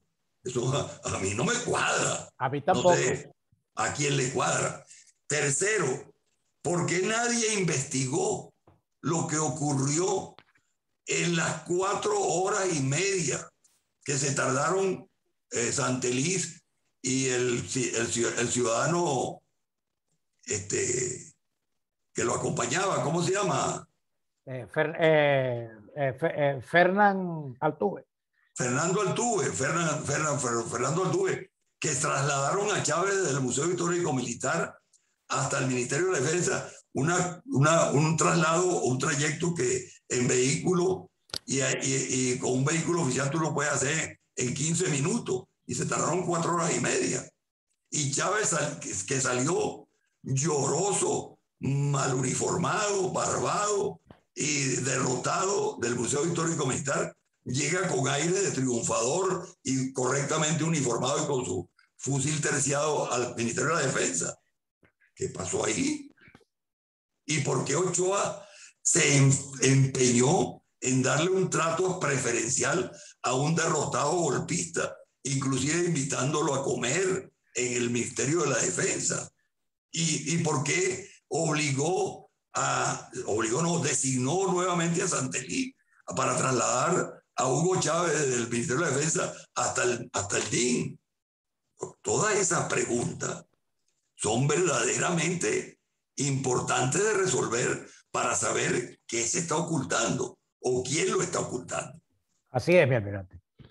Bueno, este, hasta el momento llevamos 13 rounds, de los cuales dos solamente ha ganado el presidente Pérez y un empate. Y los siguientes rounds que quedan, que es el del 27 de noviembre, también va nuevamente el presidente Pérez a la lona, recibe conteo de protección hasta el 21 de mayo de 1993 que ya allí no pudo levantarse, y no por, no por él, sino porque ya había una decisión del árbitro, en este caso del Tribunal Supremo de Justicia, cuando dictamina que debe entregar la presidencia de la República al, al doctor Octavio Lepage.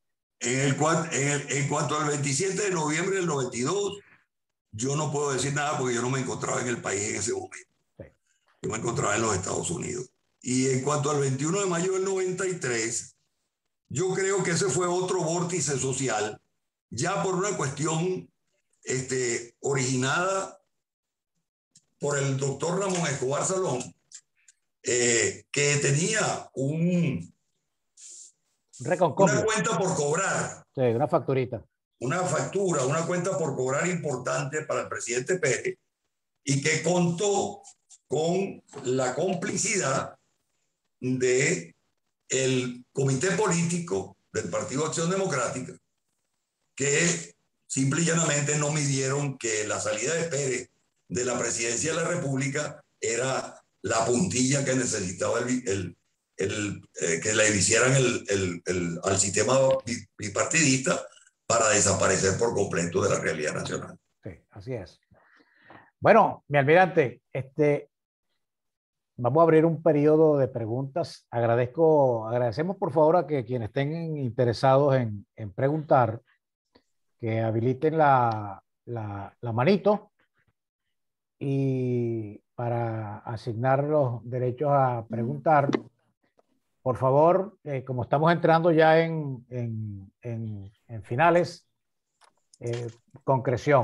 Le voy a dar la palabra a mi almirante Héctor Ramírez Pérez. Mi almirante, eh, tiene, tiene desactivado el sonido. Puede hacer uso de la palabra. Bueno, buenos días para todos, especialmente al almirante hermano Rodríguez Citrarro, a Martín Longo, Antonio, a todos los presentes, al doctor, y aquí también a Falcón, Morillo, a todos los que estamos presentes en este momento, en esta... Ha sido muy interesante todo lo que hemos escuchado hasta ahora de parte de, un protagonista de la historia como fue el, almirante Rodríguez Citrarro, en ese periodo importante de la, de la vida nuestra. Pero después viendo, oyendo todos los conversatorios que hemos oído, tanto el doctor Falcón ahora como el del, del almirante Rodríguez Citrarro, ahí, y la tuya también, Antonio, es importante analizar lo que pasó, porque después de todo este análisis que ustedes han hecho, muy bueno, excelente, habría que analizar estos dos años que Chávez estuvo preso. ¿Quiénes fueron los que se unieron? ¿Dónde estaban estos candidatos como Santeliz y todos estos que tuvieron participación previo al golpe? ¿Qué, cómo, se, se unieron a esa campaña que hubo después de la caída de Pérez, Chávez preso, y ahí se desarrolló una historia que yo creo que esa historia que se desarrolló en la cárcel, con todos los que lo visitaron y todos los, comentarios que, que, hubo en ese momento, para definir exactamente el problema. Porque ya ellos sabían, todos esos actores, que se unieron a Chávez, porque todos recordaremos que cuando Chávez gana, eh, o, se lanza la candidatura presidencial y le dan la libertad, este, lo rodearon una cantidad de notables que el pueblo se preguntaba, bueno, ¿qué hace esta persona acá? Digo industriales, digo medios de comunicación, digo una cantidad de personas que hacían vida pública, política, en, en ambos partidos, Acción Democrática y COPEI, y todos se unieron a esa campaña y cuando Chávez logra su éxito político, lo hace unido con una gran cantidad de, de personajes que estaban ahí. Y esos personajes estaban también antes. Entonces, lo que me lleva a, a, preguntar y ver es que Chávez durante todo este periodo no estaba solo, políticamente hablando. Chávez se ve que tenía una compañía. Yo recuerdo que cuando yo, siendo capitán de fragata, estando en la escuela naval, como profesor, ya se estaba prohibiendo las cátedras de, de los cadetes bolivarianos. Por lo menos en la, escuela naval se estaba impidiendo que estos centros bolivarianos se reunieran en Caracas. Y ya se sabía, pues, muchas cosas de estas. Pero políticamente yo creo, o, los políticos se unieron de a Chávez después del golpe, no sé si fue así, eso es lo que me gustaría saber, si todos estos grandes eh, opinadores, como eran los grandes medios de comunicación, se unieron a Chávez después del golpe, o ya antes del golpe ellos estaban con Chávez eh, conspirando, estaban ocupando esa conspiración. Eso es lo que me gustaría saber, porque yo pienso que en ese periodo de esos dos años que Chávez estuvo en la cárcel, ahí está la respuesta de muchas cosas. Gracias. Yo no sé quién, ¿tú quieres que yo te dé alguna opinión? Sí, me gustaría su opinión, almirante, porque sí, esos dos la, años estuvo preso. Sí. Bueno, mira, la opinión mía es la siguiente. Para el momento en que Carlos Andrés Pérez es eh, sacado de la presidencia por primera vez un juicio político, un presidente en ejercicio constitucional de su mandato, este, el partido Acción Democrática en el poder se encontraba fracturado y su dirigencia enguerrillada. Este, Alfaro Ucero, líder eh, del partido, eh, tenía serias divergencias con el presidente Pérez y con otro dirigente del partido.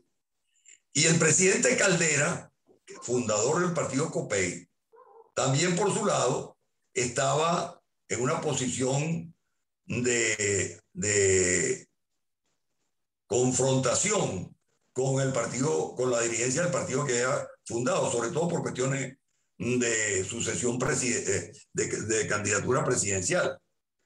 Este, acuérdate que eh, una vez que Pérez sale de la presidencia, el gobierno interino de, de Ramón J. Velázquez es sucedido por un presidente Pérez, no al frente de Copey, sino al frente de un chiripero que era mm, el, resultado de la fragmentación de COPEI y de otros grupos políticos, inclusive de Acción Democrática. Entonces, este, allí, en el momento en que Chávez, eh, en el momento en que Caldera obtiene la presidencia, intenta, intenta nuevamente hacer un ajuste macroeconómico para y, un ajuste de modernización del Estado, al igual que el que había intentado Pérez con el gran viraje del hetero, eh, ortodoxo 100%. Y esa, eso causó que mucha gente que se había aglutinado alrededor de Caldera para eh, suceder a Pérez en, la parte política, nuevamente iniciaron un rechazo a esas medidas neoliberales porque no querían que la modernización del Estado atentara contra sus prebendas y sus posiciones.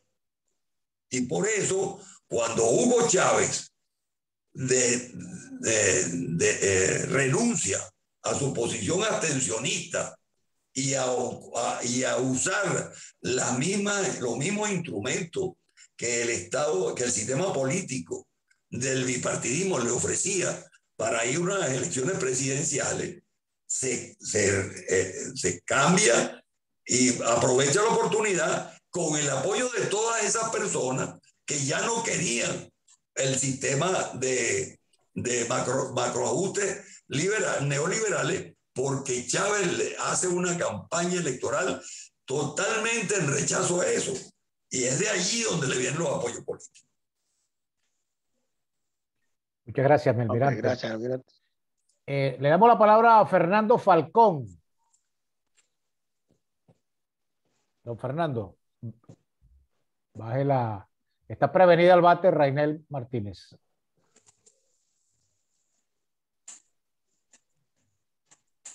No tienes audio, Fernando. Desactiva el audio unilateralmente. Ok. Bueno, primero que nada, eh, bueno, yo más bien quisiera, si se permite, que Rainel haga, haga la exposición primero. Yo me gustaría hacer un comentario al final. Entonces yo prefiero cederle la palabra a Rainel. Rainel, disponga usted de las cámaras, Rainel. Muchas gracias, mi coronel. Mis saludos, mi almirante y todos mis superiores. Eh, mis respetos a todos los participantes. Eh, como oficial en el 85-89 me encontraba en la Escuela de Aviación Militar y hablando sobre las cátedras bolivarianas, era conocido, por lo menos en la Escuela de Aviación Militar, que las cátedras bolivarianas tenían un doble, un doble fin. En, mi, en el caso de la Fuerza Aérea Venezolana, la gran mayoría de mis compañeros o superiores que estuvieron en la cátedra bolivariana terminaron siendo los que se alzaron el 27 o estuvieron participando en hechos como el 4 o cualquier intentona. Y hasta la fecha, pues son los generales soleados, los grandes soles.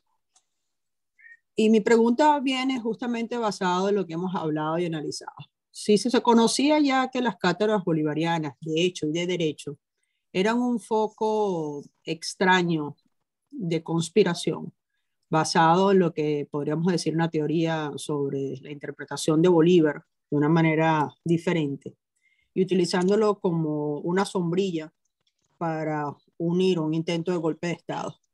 Mi pregunta es para los oficiales superiores que en ese momento tuvieron la oportunidad de conocer sobre la inteligencia y lo que se veía y se estudiaba para el momento. Si era así y el golpe militar estaba, tenía su, su semillero. Y si el golpe militar venía realmente solamente de la mano de los militares o tuvo un plan macro que se conocía o que se conoció, que eso lo quiero saber si se conoció, si tuvo alguna vez alguien lo interpretó, era un plan macro que venía de los notables, venía de la izquierda, venía de quién, o sea, el creador de toda esta situación fueron los militares ¿Fueron los civiles o fue quién? Porque eso es lo que yo, en todas las conferencias que he asistido, he querido tratar de entender. Y si bien es cierto que debe ser una unión de una cantidad de factores, tiene que tener un padre la criatura. Entonces, no sé si es que son padres compartidos, no sé si es que es una gran familia de padres y madres. Y esa es mi pregunta para, para los panelistas o para las personas que están acá, que obviamente tienen muchísima más experiencia como yo, de, que yo en ese contexto de lo que pasó en esa fecha cuando apenas yo era cadete. Muchas gracias. Yo tengo, yo tengo una, una opinión también. Eh, es muy difícil eh, decir con propiedad que existe un padre de la criatura. Existen muchas posibilidades de que hayan varios padres de la criatura. ¿Por qué digo yo esto? Por dos, dos, dos análisis que he estado haciendo en el tiempo. El primero de ellos es que el deterioro comenzado en el año 79, el deterioro debido a el vaivén, o sea, los ciclos de bonanza y depresión del ingreso petrolero que ocasionaban también percepciones de bonanza y percepciones de crisis en la población, fue, eh, eh, fue generando dentro del segmento, dentro del sistema político del bipartidismo, una serie de, de confrontaciones internas, porque ya no era tan fácil que el bipartidismo se alternara en el poder, ni tampoco que eh, el estalinismo que en los partidos habían ido ejerciendo dentro de su cúpula para evitar la emergencia de, nuevas, de nuevos liderazgos, hacía que la lucha interna en los partidos se hubiese acentuado. Era, era mucho más difícil eh, que fluyese la dinámica eh, partidista dentro de un partido que se encontraba socialmente en crisis. Eso por una parte. Y por otra parte, la pacificación que ocurrió en Venezuela de la lucha antiguerrillera introdujo en el ejército una fase de laxitud en la cual ya no teníamos que operar contra un enemigo visible este, y que tenía, eh, teníamos que derrotar porque de lo contrario este, ese enemigo pues nos iba a eliminar del panorama. Produjo en el ejército el resurgimiento de apetencias que se consideraban anacrónicas o ya superadas, como fue la, la del caudillismo de los años anteriores a, a, la modernización del ejército. Y por lo tanto, el surgimiento de apetencias personales de poder dentro de los cuadros militares. Esas dos cosas, debidamente analizadas, podrían arrojar luces sobre lo que ocurrió eh, en esa coyuntura específica del año 92, pero que a mi modo de ver es simple y llanamente, tiene que ser simple y llanamente un conjunto de cosas, porque para mí no existía solamente la conspiración de Hugo Chávez, existían varias conspiraciones de varios tipos. Si a ver vamos, porque no analizamos lo que ocurrió después, cuando Chávez lo sacaron del poder el, el 12 de, de, abril y el 14 de abril ya estaba de nuevo en el poder. ¿Cómo es posible que en ese momento, en esa coyuntura, que, las, que fue la sociedad civil, la sociedad la que, la que motivó el vórtice para que Chávez saliera del poder? Los militares no actuaron, los militares lo que hicieron fue, nosotros no vamos a intervenir. Y entonces Chávez tuvo que renunciar. Pero habían demasiados grupos, demasiada apetencia de poder buscando y, y da la casualidad que el que se manifiesta como, como poder es el que no tiene el apoyo militar. Entonces los militares dicen, ¿cómo es esto? Esto es un golpe de Estado, sin nosotros, sin el ejército. Vamos a, vamos a traer nuevamente a Chávez. O sea, no había un solo, un, un solo una sola corriente conspirativa en Venezuela durante todos esos años, desde 1979 a 1992. Habían muchas, muchas formas de, de conspiración y todas ellas con la pretensión del poder político. Esa es mi apreciación. Le damos la... Eh, muchas gracias, Melvirante. bueno, Fernando, estamos ya casi entrando en, en, las, en los finales, como dicen. Eh, tiene la palabra Fernando Falcón. Eh, antes que nada, bueno, un saludo a todos los que están acá. saludos especiales a mi almirante Antonio, Rainel, a mi almirante Rodríguez Pérez, que todavía le quede bien unas presentaciones en el Liceo Militar. No se las pagué nunca. Este, le, agradezco me dispense. Eh, yo quiero eh, poner varias cosas en el tapete. ¿no? La primera, bueno, una razón de lealtad, una razón de cariño, etcétera. Eh, la vivencia que tuve yo con mi almirante Rodríguez, yo fui protagonista de muchas de las cosas que el almirante Rodríguez eh, ha planteado, protagonista de segundo orden, pues, como miembro de un equipo. Hay una cosa que a mí me llama la atención, en la que yo pues debo manifestar, si no mi desacuerdo, por lo menos alguna variante, ¿no? Eh, yo creo que el problema de la crisis del sistema político venezolano no arranca con, con Luis Herrera Campín, arranca con el propio Carlos Andrés Pérez. Eh, el derroche, la, la avanzada, eh, la manera como se manejó. El, primer Pérez. te, refieres al primer Pérez? El primer Pérez. Pérez uno. Pérez uno. Yo pienso que no, no es Luis Herrera, es, Pérez uno. Pero bueno, es un problema de, de apreciación que está mucho más allá de lo que está planteando acá. Eso en, primer lugar, sería cuestión de discutirlo en otro foro, en otro momento. En segundo lugar, hay un problema de orden metodológico que me, angustia especialmente por la pregunta que he escuchado, que es eh, cuando uno hace el análisis a posteriori, cuando uno ya tiene los hechos como ocurrieron, pues por supuesto, el análisis a posteriori, la tendencia es que uno encaje todos los hechos y las cosas no fueron necesariamente así. Por ejemplo, el, el asunto de la, las cátedras bolivarianas que eh, Rainel se ha referido. Eh, resulta que no era nada más las cátedras bolivarianas. Antonio debe recordar, que estaba en el batallón Sucre, un, una especie de teatro itinerante que se llamaba La Garguza, que iba, por toda, que iba por toda Venezuela, con el, eh, dirigido por el mayor Arias Cárdenas, eh, capitán Arias Cárdenas iba por toda Venezuela este, y resulta que ahí no había ninguna conspiración, eso estaba autorizado por el comandante general, que además estaba feliz porque eso ocurriera.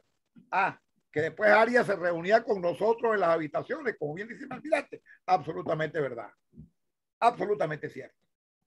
En la cátedra bolivariana no se hablaba de cátedra bolivariana, pero también los aniversarios de las unidades. Y miren, Clausewitz eh, tiene una famosa, una famosa frase sobre los cuatro tipos militares. Él dice que los militares eh, eh, inteligentes y trabajadores son los grandes capitanes. Los flojos e inteligentes son los oficiales de Estado Mayor. Los brutos y flojos no son problema, pero los brutos y trabajadores son un peligro y hay que expulsarlos inmediatamente de la Fuerza Armada. Eso lo decía Claudio. Y digo esto porque yo llegué a ver Mira, ah, entre los brutos e inteligentes no están los infantes. Los brutos y, y, y, enérgicos. brutos y enérgicos. Perdón, para no, para no, eh, para, para no caricaturizar la cosa, porque me interesa, eran los aniversarios de las unidades. Si ustedes hacen una lista de los aniversarios de las unidades, yo no sé por qué otros nos da por activar las unidades los 24 de junio, los 6 de julio. Yo llegué a ver eh, por razones de trabajo, yo llegué a asistir a cuatro, cinco, seis aniversarios seguidos. Arrancaba aniversario el martes y terminaba el viernes en la tarde, entre Valencia, Maracay, Caracas. Y, yo me encontraba al comandante Chávez en los seis aniversarios. Yo decía, bueno, pero este señor no está allá abajo en el Orsa. Entonces, bueno, ¿cómo hacía? Yo no estoy diciendo que él usa eso para catequizar, pero él mismo dice en su libro que él lo hacía, que él se reunía. Entonces, la propia sociabilidad militar dio pie a, que eso pudiese ocurrir. Eh, pero yo, yo quería sobre todo insistir en el, el problema del análisis contrafactual. Hoy en día vemos como una cadena de acontecimientos que todos coincidieron, pero las cosas no eran realmente así. Eh, cuando nosotros nos sentábamos en la dirección de análisis, lo sabe mi, mi almirante, llegábamos a veces a callejones sin salida. Sabíamos que se podía formar una, eh, una intervención militar, sabíamos que, se, que podía ocurrir una explosión social. Ahora, el cómo y el cuándo. Fíjense, por ejemplo, por ahí hay una, una peregrina eh, interpretación en un libro que no quiero nombrar, que cuando Fidel Castro estuvo aquí en Caracas, entonces trajeron armamento que después mi almirante, usted era director de inteligencia, yo era director de análisis interno. Entonces, esos señores no trajeron nada. Nada. Nosotros revisamos esa, esas habitaciones hasta, bueno, bueno, las muchachas de análisis, usted recuerda que hasta se metieron. En la... Eso es manipulación de la opinión pública, Fernando, manipulación de la opinión pública. Claro, Fue. pero eso es lo que la gente está consumiendo hoy. Claro. En, en, entonces, entonces pareciera que hubo todo un, un, un, un proceso hecho en la cara de todo el mundo eh, y con la ineptitud de todo el mundo y realmente no sucedió así. El otro problema que quiero dejar claro ya para cerrar es que eh, este es un país donde aquí tienen servicio de inteligencia hasta las hijas de María. El, el, el, el tránsito tiene inteligencia, la, las cuatro fuerzas. Entonces, la distorsión para el decisor era demasiado grande. Mire, este, ¿Cuántas veces nosotros no, no nos encontramos con, con, informaciones absolutamente contradictorias? Y esas le llegaban al presidente. Entonces, ¿cómo puede el presidente, ante cuatro o cinco informaciones totalmente contradictorias, tomar una decisión? Porque el DIN no era, no era, y tengo que decirlo con toda responsabilidad, el organismo superior realmente en materia de inteligencia, sino que está, lo tenían al mismo nivel de credibilidad lo manejaban de la misma forma. Entonces, daban lo mismo que la información la, la trajera Valera, o la trajera Haynes, o la trajera el director de inteligencia naval, o la trajera Herminio Fuenmayor, que estaba haciendo inteligencia de un año anterior. Obviamente, eso, eso bloquea la toma de, de, de decisiones. Y por otra parte, estas apetencias personales llegaron también a, eh, a, a provocar el cruce de informaciones en relación con las verdaderas conspiraciones. Explico. Si se quería sacar del medio a cualquier oficial, pues simplemente se incluye en una conspiración. Eh, todo el problema de la noche de los tanques, por ejemplo, a mi modo de ver, estuvo destinado siempre a sacar del juego a Trompón y Peraza y a Bastardo que era el próximo ministro, mi modo de ver, y el próximo combate general. Simplemente los eclipsaron con las consecuencias que hoy tenemos. De manera, bueno, son algunas algunos tips que quería, con los que quería colaborar y mi almirante de nuevo, bueno. Eh, eso que último que acaba de, eso último que acaba de decir Fernando, este, es una verdad como una catedral, porque yo mismo este, fui, eh, sufrí en carne propia ese tipo de acusación. Cuando eh, un, día a mi oficina en la Contraloría de las Fuerzas Armadas, se presentó un grupo de oficiales para decirme que la situación eh, era insostenible y que teníamos que ir a hablar con el presidente, que yo tenía que ir a hablar con el presidente de la República para ponerlo en cuenta de que esa situación tenía que ser manejada, ta, ta, ta. Y yo le dije, pero ustedes como que están, no sé, debe, debe ser que ustedes están un poquito tocados de la, de la cabeza. ¿Ustedes creen que yo voy a ir a Miraflores a decirle eso al presidente? Inmediatamente salgo preso para el cuartel de San Carlos. Ahora, yo voy si ustedes todos me acompañan. Si ustedes todos vienen conmigo, yo voy con ustedes. Y lo primero que le vamos a decir, presidente, aquí no estamos conspirando. Venimos a decirle una verdad, ta, ta, ta, ta. Bueno, después que ellos se fueron de mi oficina, yo me fui a la oficina del general Ochoa y le dije, mira, Fernando, acaba de pasarme esto. Y él me dijo, pero bueno, chicos, ¿y por qué no vinieron de mí? Y yo le dije, y bueno, yo esto no lo quiero decir porque no, no lo voy a decir. Dígalo, bien, lo que esto queda para la historia. No, no, no, no, no lo voy a decir. No, no, no, no, de verdad que no. Pero, pero, eh, bueno, está ok. Y yo me fui después para mi Contraloría Y al día, y la semana siguiente, o no sé si en los dos días, pocos días, me llama Fernando Ochoa y me dice, mira, hermano, estoy muy preocupado porque el presidente Pérez me acaba de llamar para decirme que tú estás conspirando. Y yo le dije, el presidente Pérez no te puede haber dicho eso, porque yo estoy conspirando, el Contralor. Si yo lo que tengo aquí son carpetas, archivos, secretarias, ¿y dónde están mis cañones? ¿Dónde están mis tanques? ¿Dónde están mis aviones? Yo no soy un comandante operativo, chico, para, para, para hacer una conspiración. ¿Y dónde están esos apoyos? Bueno, pero él me acaba de llamar. Yo, no te preocupes, que yo voy a hablar con él y le, no, no, tú, tú, no vas a hablar con él, porque yo tengo acceso directo al presidente Pérez. Yo voy a ir a hablar con él.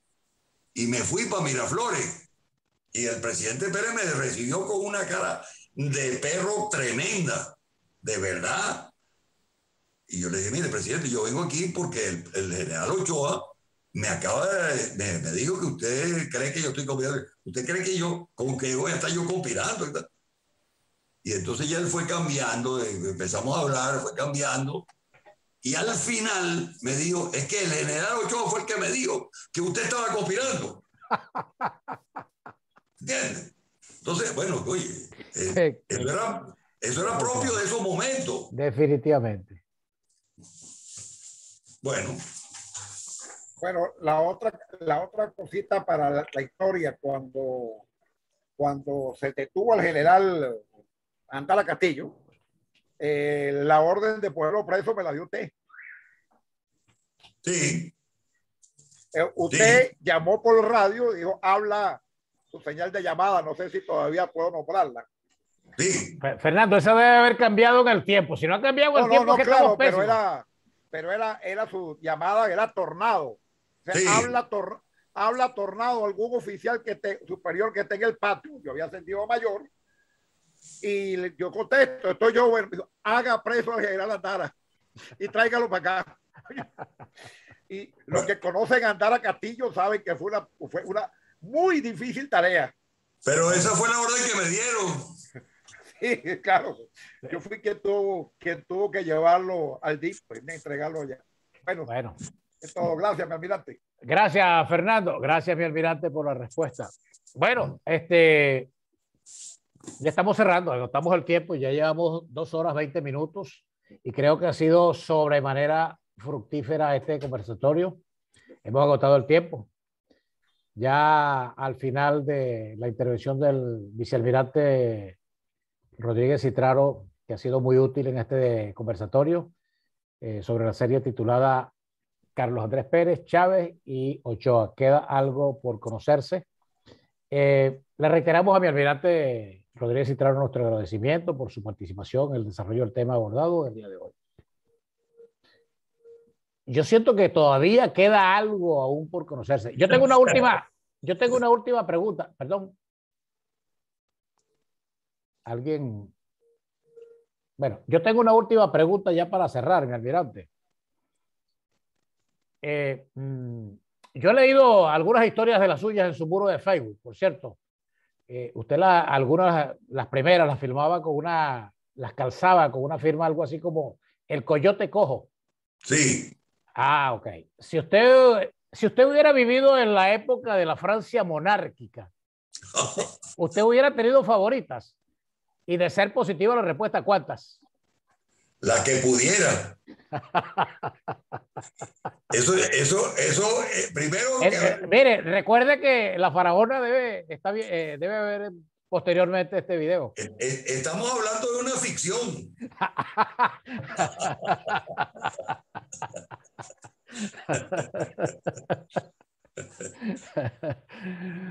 bueno, ahora sí estamos cerrando la bodega. Bueno, en todo caso, ya desde esta esquina, yo le hago una cordial y respetuosa invitación al general de división Fernando Ochoa Antich para que participe también como uno de nuestros principales invitados en, este en estos conversatorios. También, entre paréntesis, al general de división Carlos Peñalosa Zambrano. Ojalá que tengamos la oportunidad de tenerlos aquí y espero que si alguien tiene algún contacto directo con ellos, se lo transmita, pues, porque realmente la idea es, no es ni victimizar ni cortarle la cabeza a nadie subiéndolo a un estrado para acusarlo. Eh, ni, que, ni esto tampoco tiene un tono acusatorio. Simplemente estamos revisando lo que ocurrió en un hecho tan importante para la historia política del país, que nos cambió la vida a todos, a todos nos cambió la vida.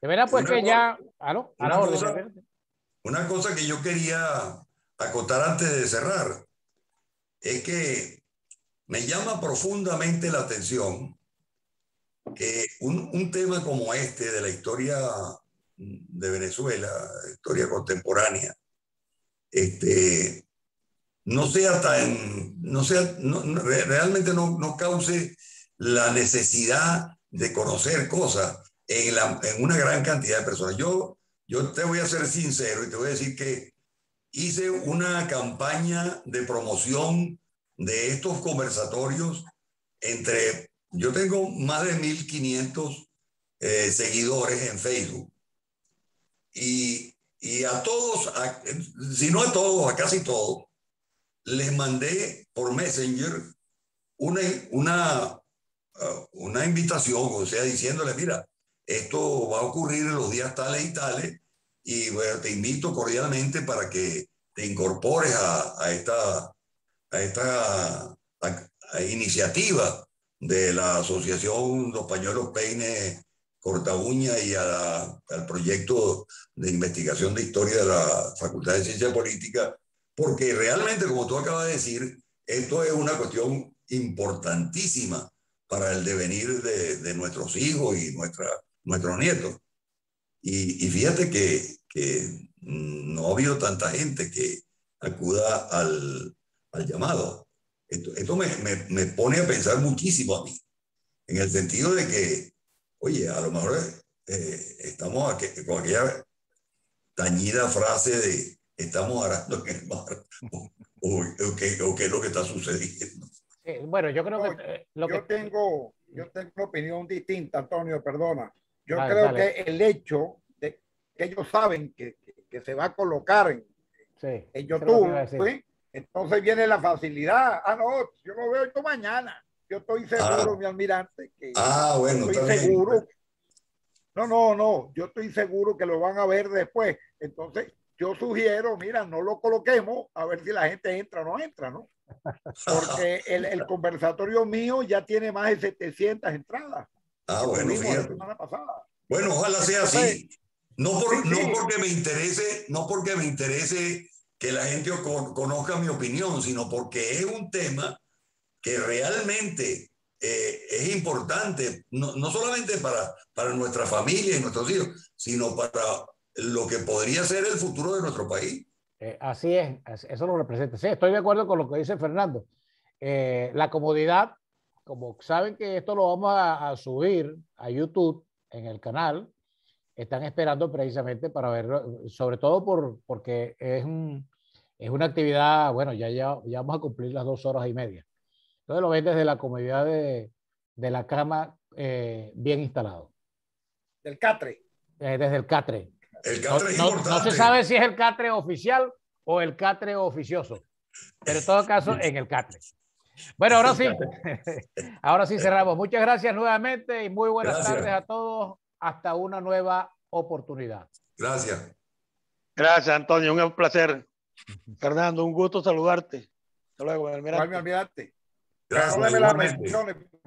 Adiós.